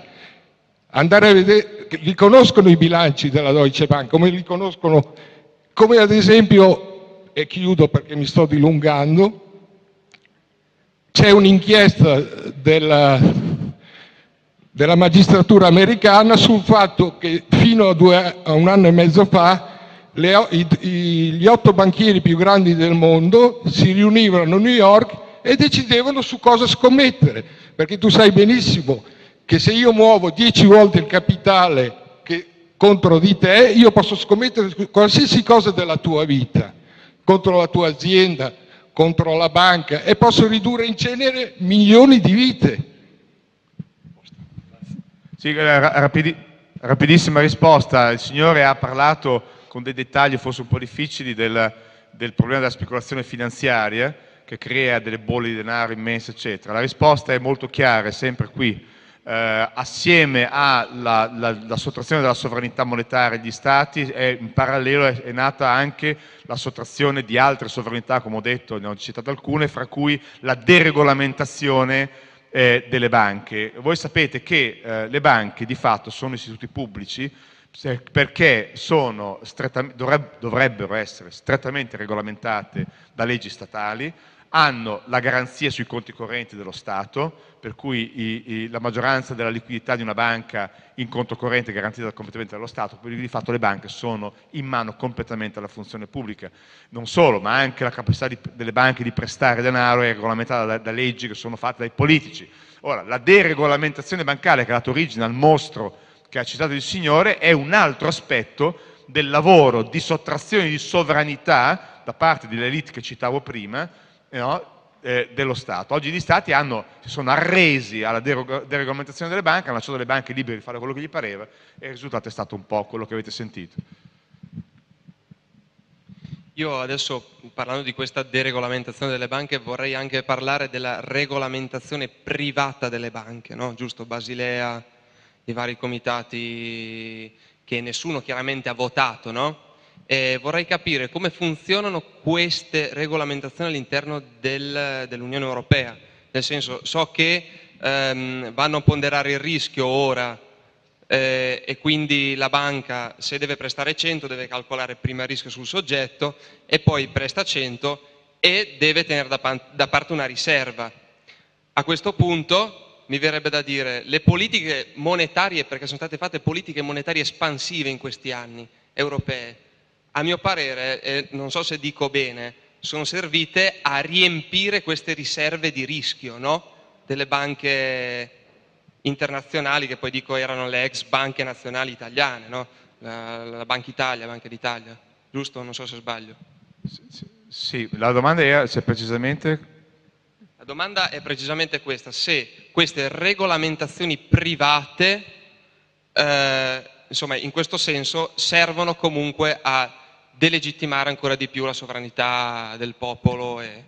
Ma, no, ripeto, non sono, no, qui c'è un errore di fondo, le, le, Basilea, le regolamentazioni non sono mai private, sono, se lei vuole, sono eh, organi eh, eh, di funzionamento pubblico, eh, sono pesantemente influenzate dal privato. Cioè, sostanzialmente, la Basilea 2, 3, se non mi sbaglio, eh, è eh, frutto del lavoro di un gruppo di eh, banchieri, di cui fa parte anche Mario Draghi in maniera del tutto impropria, che è il gruppo dei 30, eh, che negli anni 90 ha stilato tutta una serie di eh, proposte di regolamentazione che sono state semplicemente comprate, proprio bevute alla lettera da questi da questi funzionari tecnocrati pubblici che hanno, le hanno semplicemente prese, lette e applicate. E così hanno deregolamentato il settore bancario. Poi che eh, oggi eh, il, il, um, come dire, eh, eh, questa è una foto dei disastri, è vero, ma ci, non, le, le, banche, eh, una cosa molto semplice da capire per tutti, le banche sono come delle oche, se tu gli dai da bere, queste bevono fino a scoppiare d'accordo? E non è che puoi dare la colpa alla banca, lo so che la banca è antipatica a tutti, ma la, le banche sono, sono, delle oche, cioè, sono nate così. La colpa non è delle banche, la colpa è dei politici, è del contadino che ha le oche, che gli dà troppo da bere, che gli ha permesso di bere troppo. E la colpa è sempre della regolamentazione statale, governativa, sempre degli organi europei di controllo, i famosi regolatori europei. Della, della, ah, oggi stanno facendo delle proposte per riproporre una grande autorità europea di regolamentazione delle banche, ma il, il fatto è che abbiano permesso alle banche di avere un rapporto fra eh, capitale eh, e, eh, e, e, prestiti emessi del 10%, 10% a 100, cioè la banca basta che abbia in capitale il 10%, se, la banca presta un miliardo? L'importante è che abbia in capitale il 10% di un miliardo, poi può prestare un miliardo di denaro che non ha. Capite? Questo non è, sono state le banche che si sono inventate questa roba qua, sono i politici che hanno permesso alle banche di fare questo. È in questo modo che le banche hanno creato queste bolle spaventose. Tu capisci, no? nel momento in cui tu hai in cassaforte eh, eh, 100 lire e puoi prestare eh, 1000, semplicemente garantendo 100, poi succede qualcosa, cosa fai a garantire gli altri? Eh, eh, hai 10 lire in cassaforte, ne puoi prestare 100, o hai 100 lire, ne puoi prestare 1000, come, come fai a garantire gli altri 900 o gli altri 90? Questo è, è il problema, è sempre un problema di regolamentazione pubblica che, che noi, come fra l'altro i nostri economisti, fra cui anche in particolare Warren Mosler, è colui che porta in giro l'idea che tutto il sistema, bancario è di fatto fallito, quindi andrebbe tutto rinazionalizzato e riprivatizzato a condizioni molto strette da parte dei governi. Ma non però, attenzione, cadere nella tentazione di certi demagoghi eh, che fra l'altro non capiscono questi temi, non studiano questi temi, che dicono che ah, le banche sono dei, tutte criminali e bisogna impedire alle banche di creare denaro. No, le banche, quando le banche creano denaro, che cre- creano un corrispettivo indebitamento, quindi non è mai denaro al netto, però in quel momento per un'azienda, per esempio, per un negoziante, per chiunque, avere quei soldi è utile.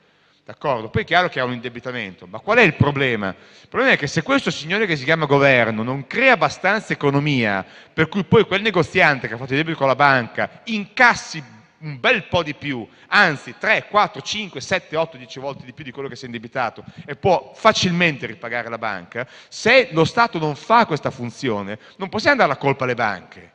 Scusate, cioè non è colpa della banca che ti ha fatto un prestito e non lo puoi ripagare, non lo puoi ripagare perché la gente non viene a comprare la tua roba, perché la gente è in un'economia che sta fallendo e perché questo signore qui non fa il suo dovere. Capite? Deve essere molto chiara questa storia.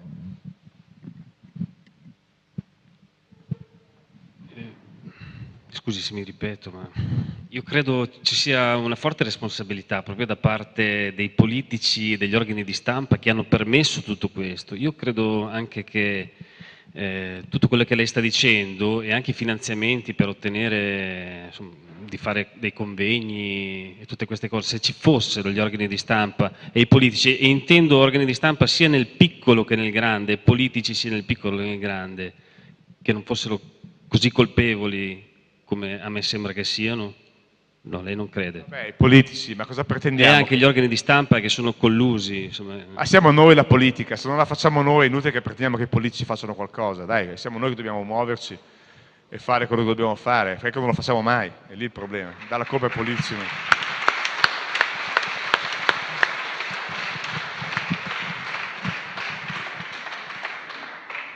Volevo fare solamente una domanda.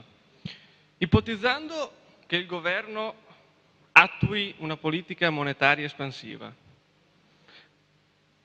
questa eh, politica può essere valida all'infinito? Cioè può emettere moneta senza avere un termine? Perché qualcosa mi ricorda, studi- cioè, mh, mm, premetto che non ho studiato la materia, ma qualcosa mi dice, mi ricorda la trappola della liquidità all'interno del sistema non governativo. Allora, la risposta è questa. Dunque, eh, il, questa cosa si può fare con un solo limite. Il governo, allora, il debito pubblico è un numero che sta dentro un computer del Ministero del Tesoro, non è un debito del governo con nessuno. Se c'è una moneta sovrana non è un problema di debito, non lo dovete ripagare voi, eccetera. Eh, l'emissione di moneta non crea inflazione a patto che eh, questa emissione di moneta, cioè tutta questa moneta che entra qua dentro, crei attività produttive, crei lavori, crei produzione, eccetera. Perché solamente nel momento in cui entra tanta moneta, qua non si produce più tanto, allora dopo c'è l'inflazione. Okay? L'inflazione poi c'è anche per altri motivi, ma sostanzialmente il primo motivo è questo. La domanda del Signore è importante. Allora, questa cosa, questo processo virtuoso, spendi sempre di più di quello che tassi, lasci sempre più soldi qua dentro di quello che togli, Dice, può andare avanti all'infinito? No, la risposta ovviamente è no. E qual è il limite? Il limite è la piena capacità, si chiama. Cioè nel momento in cui il tuo Stato ha speso a sufficienza per dare lavoro a tutti gli italiani, tutti, cioè non c'è un disoccupato neanche a cercarlo con chi l'ha visto. Okay? Nel momento in cui le aziende hanno, eh, stanno lavorando a piena capacità, quindi non possono prendere più personale perché non possono produrre più di quello che possono produrre. Nel momento in cui hai toccato il tetto delle materie prime che puoi importare, nel momento in cui hai toccato la capacità del Paese di vendere ai propri cittadini servizi, novità, cose, case, pieni alloggi, hai il pieni alloggi, hai la piena sanità, hai la piena occupazione, nessuno è senza casa, eh, che ne so, nessuno, a nessuno manca un'auto, nessuno manca un'assicurazione, a nessuno manca un computer, a nessuno manca... Nel momento in cui sei arrivato a questo livello, che è un livello di sogno della società, a cui nessuna società in realtà è mai arrivata, a questo livello continuare la spesa diventa inflattivo, cioè può creare inflazione, può creare un problema, comincia a uh, avere un ritorno di fiamma. Però voi capite molto chiaramente che eh, una cosa del genere, una situazione del genere non si è mai, mai verificata e in Italia dove abbiamo il, il 32 per, 34% dei giovani disoccupati, il 12% degli adulti disoccupati, dove abbiamo le aziende in, in, che chiudono a 40.000 all'anno, dove abbiamo sacche di povertà che stanno aumentando in maniera spaventosa, 10 italiani su 100 che non si riscaldano eh, sufficientemente d'inverno e bla bla bla, possono andare avanti all'infinito, questo problema non si, non, non, si, non si, pone. Per cui prima di creare allarmi sui limiti della modern money theory e della spesa deficit del governo devono passare molti decenni. Bene, volevo farti una domanda io, eh, se ci puoi spiegare brevemente cos'è il Fiscal Compact che è stato messo in Costituzione dai nostri politici.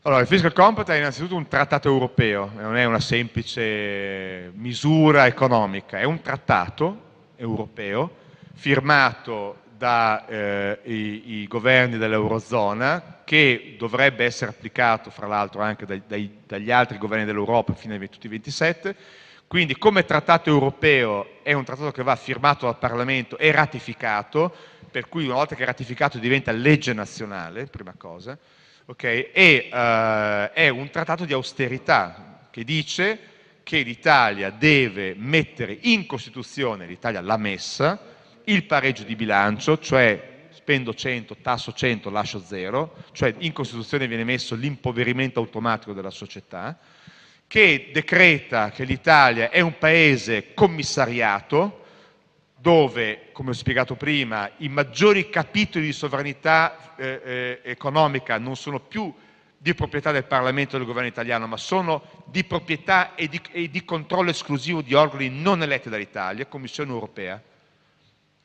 okay? Fondo Monetario Internazionale, eh, Banca Centrale Europea, eh, è un trattato che eh, decide che ci possono essere delle penalità applicate al paese che sgarra questi parametri, per cui l'Italia può avere multe nell'ordine dei, miliardi, eh, scusate, dei 2 miliardi di euro all'anno se sgarra i parametri imposti dal Fiscal Compact, sono 2 miliardi di euro che spariscono in multe all'Italia solo per aver violato eh, questa legge che nessun italiano ha votato, che nessun parlamentare italiano capisce e che, che è entrata in Costituzione. Eh, è un trattato che decreta, per esempio, che la Germania, dico io la Germania, ma un qualsiasi paese dell'Eurozona può eh, eh, iniziare una procedura penale contro un altro paese se ritiene che questo paese eh, eh stia sgarrando i parametri stabiliti da dal Fiscal Compact?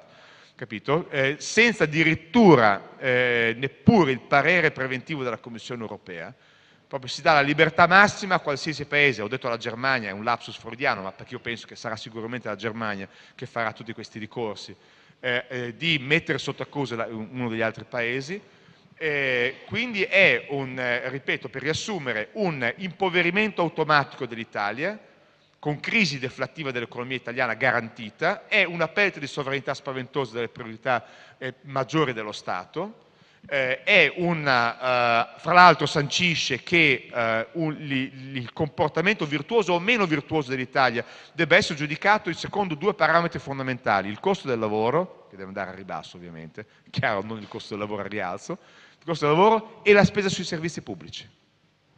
Quindi se l'Italia dovesse essere eh, eh, eh, processata per infrazione dei parametri, sarà giudicata soprattutto in base a questi due parametri, a, a, stipendi troppo alti e servizi pubblici troppo stesi.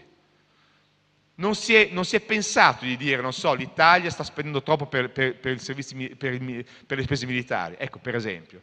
Non hanno messo una cosa del genere, hanno messo solo abbiamo troppi ospedali, troppi asili nido, troppi ambulatori, allora dobbiamo essere multati. Questo sancisce il fiscal compact fra, fra le altre cose. eh, ed è eh, eh, una mostruosità democratica, di sovranità economica, è un crimine contro la cittadinanza, l'abbiamo votato, ratificato e messo in Costituzione.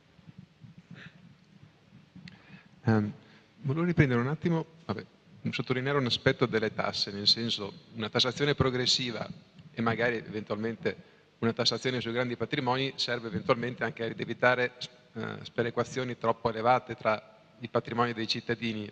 Leggevo, mi pare che il 10% degli italiani emano il 50% della ricchezza nazionale, negli Stati Uniti probabilmente anche peggio, e questo magari serve ad evitare che appunto la parte più ricca della popolazione si compri o i mezzi di comunicazione o faccia lobbying o si compri direttamente il politico e quindi diciamo, serve a mantenere aperto il gioco democratico. Quindi, in questo senso la tassazione può anche avere una, una funzione in più.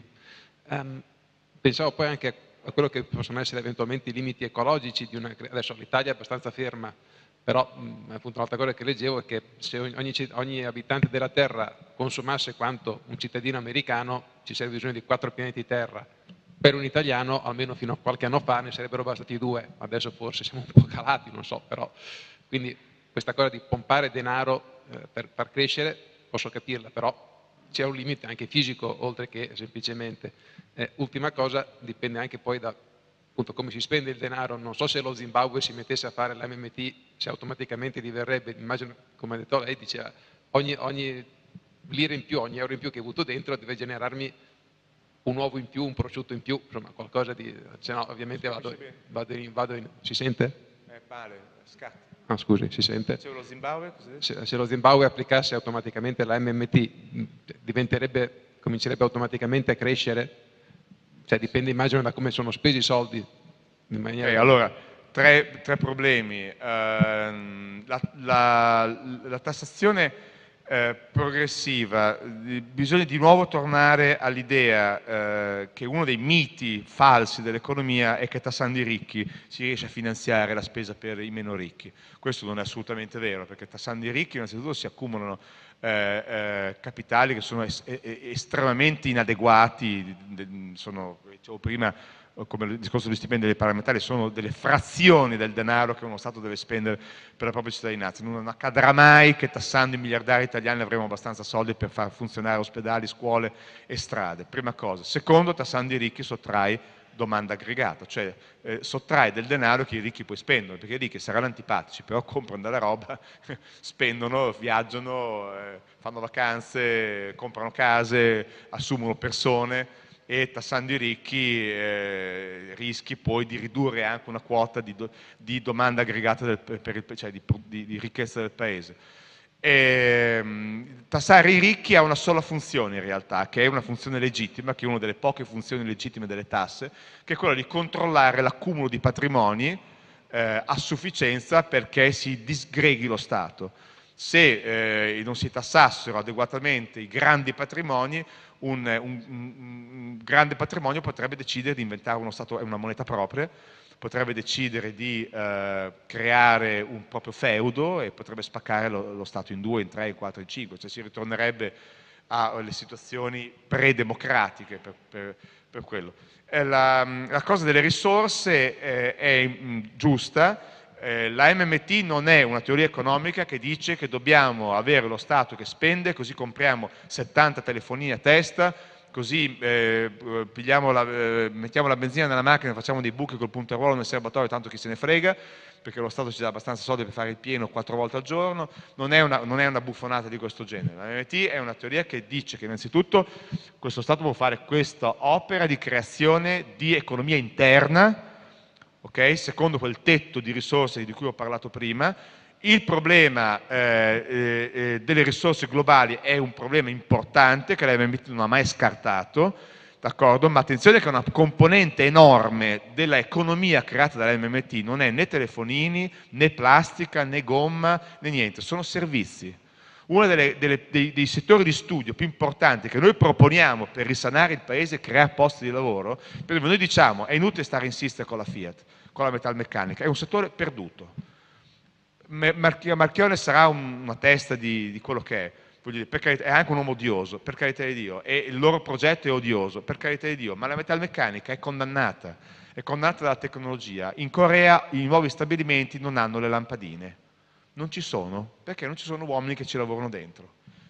Quindi questo è il futuro della, della, della, macchina, è inutile che stiamo a insistere a tenere gli operai. Allora la MMT ti dice, tu dici al signor Marchione, ti prendi la tua Fiat e te ne vai alle Cayman, te ne vai dove cavolo ti pare, chi se ne frega, hai fatto delle macchine che fanno schifo per 50 anni, basta, te ne vai dall'Italia. Questa gente che perde il lavoro la si prende, la si rimpiega con stipendi esattamente identici nel settore dei servizi.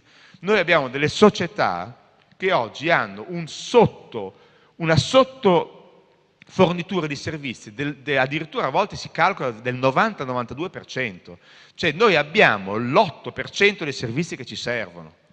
Avremo migliaia, centinaia di posti di lavoro creati nei servizi, che producono economia, producono ricchezza, producono efficienza, producono benessere in tutti i settori. Oltretutto con la popolazione anziana che abbiamo, che sta aumentando di smisura, per fortuna, io ho una madre di 88 anni con un paio di handicap importanti, io avrei bisogno di 5 persone fisse, 5, solo per mia madre, solo per lei, per farle fare una vita decente. Non le abbiamo, ovviamente non ce le possiamo permettere, con la MMT tu hai 5 persone che lavorano in questo settore, per un singolo anziano.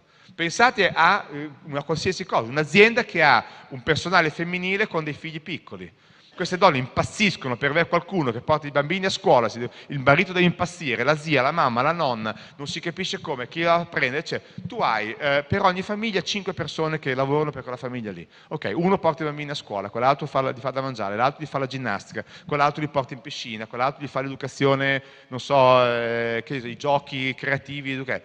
quell'altro gli fa le festicciole. 5 persone che lavorano in una famiglia, ognuno pagato con uno stipendio. Quella persona è tranquilla, si sveglia la mattina, bacia i bambini, è a posto.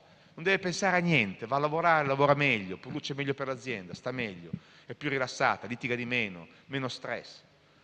Ma ci sono esempi a migliaia di questo, assistenti personali, eh, negli ospedali, non, non, non, sappiamo mai a chi chiedere, i, i medici dobbiamo fermare per i corridoi, tirare per il camion, cioè, non esiste personale addetto alla comunicazione negli ospedali, impieghi per ogni ospedale 100 persone addette alla comunicazione, vanno, entrano, escono, cartelle cliniche, cosa sta succedendo, cosa è successo, in camera è, eh, eh, quali sono le notizie mediche, cosa devo fare, a chi mi devo rivolgere per i servizi, eccetera. All'infinito. Quindi la MMT non sta dicendo creiamo economia all'infinito per sprecare plastica, petrolio e arrivare a distruggere le risorse del pianeta, al contrario. Stiamo proprio dicendo questo, laddove eh, eh, la, la, tecnologia arriverà a usare molto meno materiale umano e anche molto meno materiale tecnologico, a sprecare molto meno materiale, creiamo posti di lavoro in un'altra maniera. Bene, ehm, volevo chiederti, siamo usciti alla lira e dobbiamo eh, comprare il petrolio. Come facciamo? Dobbiamo comprare il petrolio. Siamo usciti alla lira e dobbiamo comprare il petrolio. E... Ah, eh, siamo tornati alla lira? Siamo tornati alla lira e dobbiamo comprare il petrolio. Come facciamo a comprare il petrolio che... Sì, eh, anche questo è un altro fantasma usato per, per l'auto usato per paralizzare la gente, impedire alla gente di immaginare la soluzione a questo disastro economico. Eh, innanzitutto la spesa per l'energia in Italia, la spesa per il petrolio in Italia è eh, una cosa ridicola rispetto a quello che tutti si immaginano. Noi che paghiamo la benzina così cara eh, siamo distinti, eh, portati a immaginare che il governo italiano per l'energia in Italia spenderà quanto? 40%, il 50% del, del, del, della, della, spesa dello Stato. In realtà quando l'Italia spende molto per l'energia spende l'1,7, 2% eh, eh, della, della propria spesa pubblica quindi è il 2% del fatturato dello, della, della, spesa dello Stato, 1,7-2%. Quindi innanzitutto è un problema molto relativo nel momento in cui si tornasse alla lira. La seconda cosa che non, non si sa è che eh, non è vero che il petrolio si compra in dollari, questa è una balla, una bugia, proprio una cosa ridicola.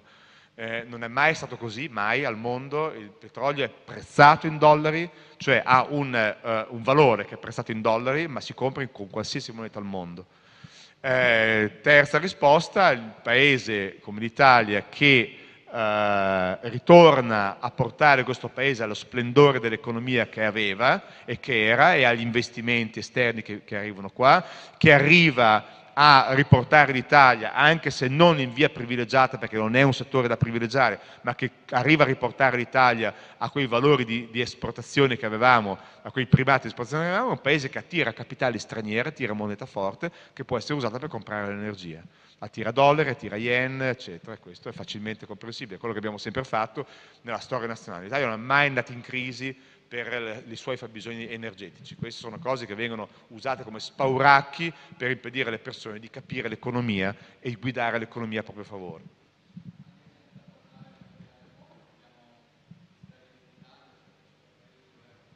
Portiamo, scusa?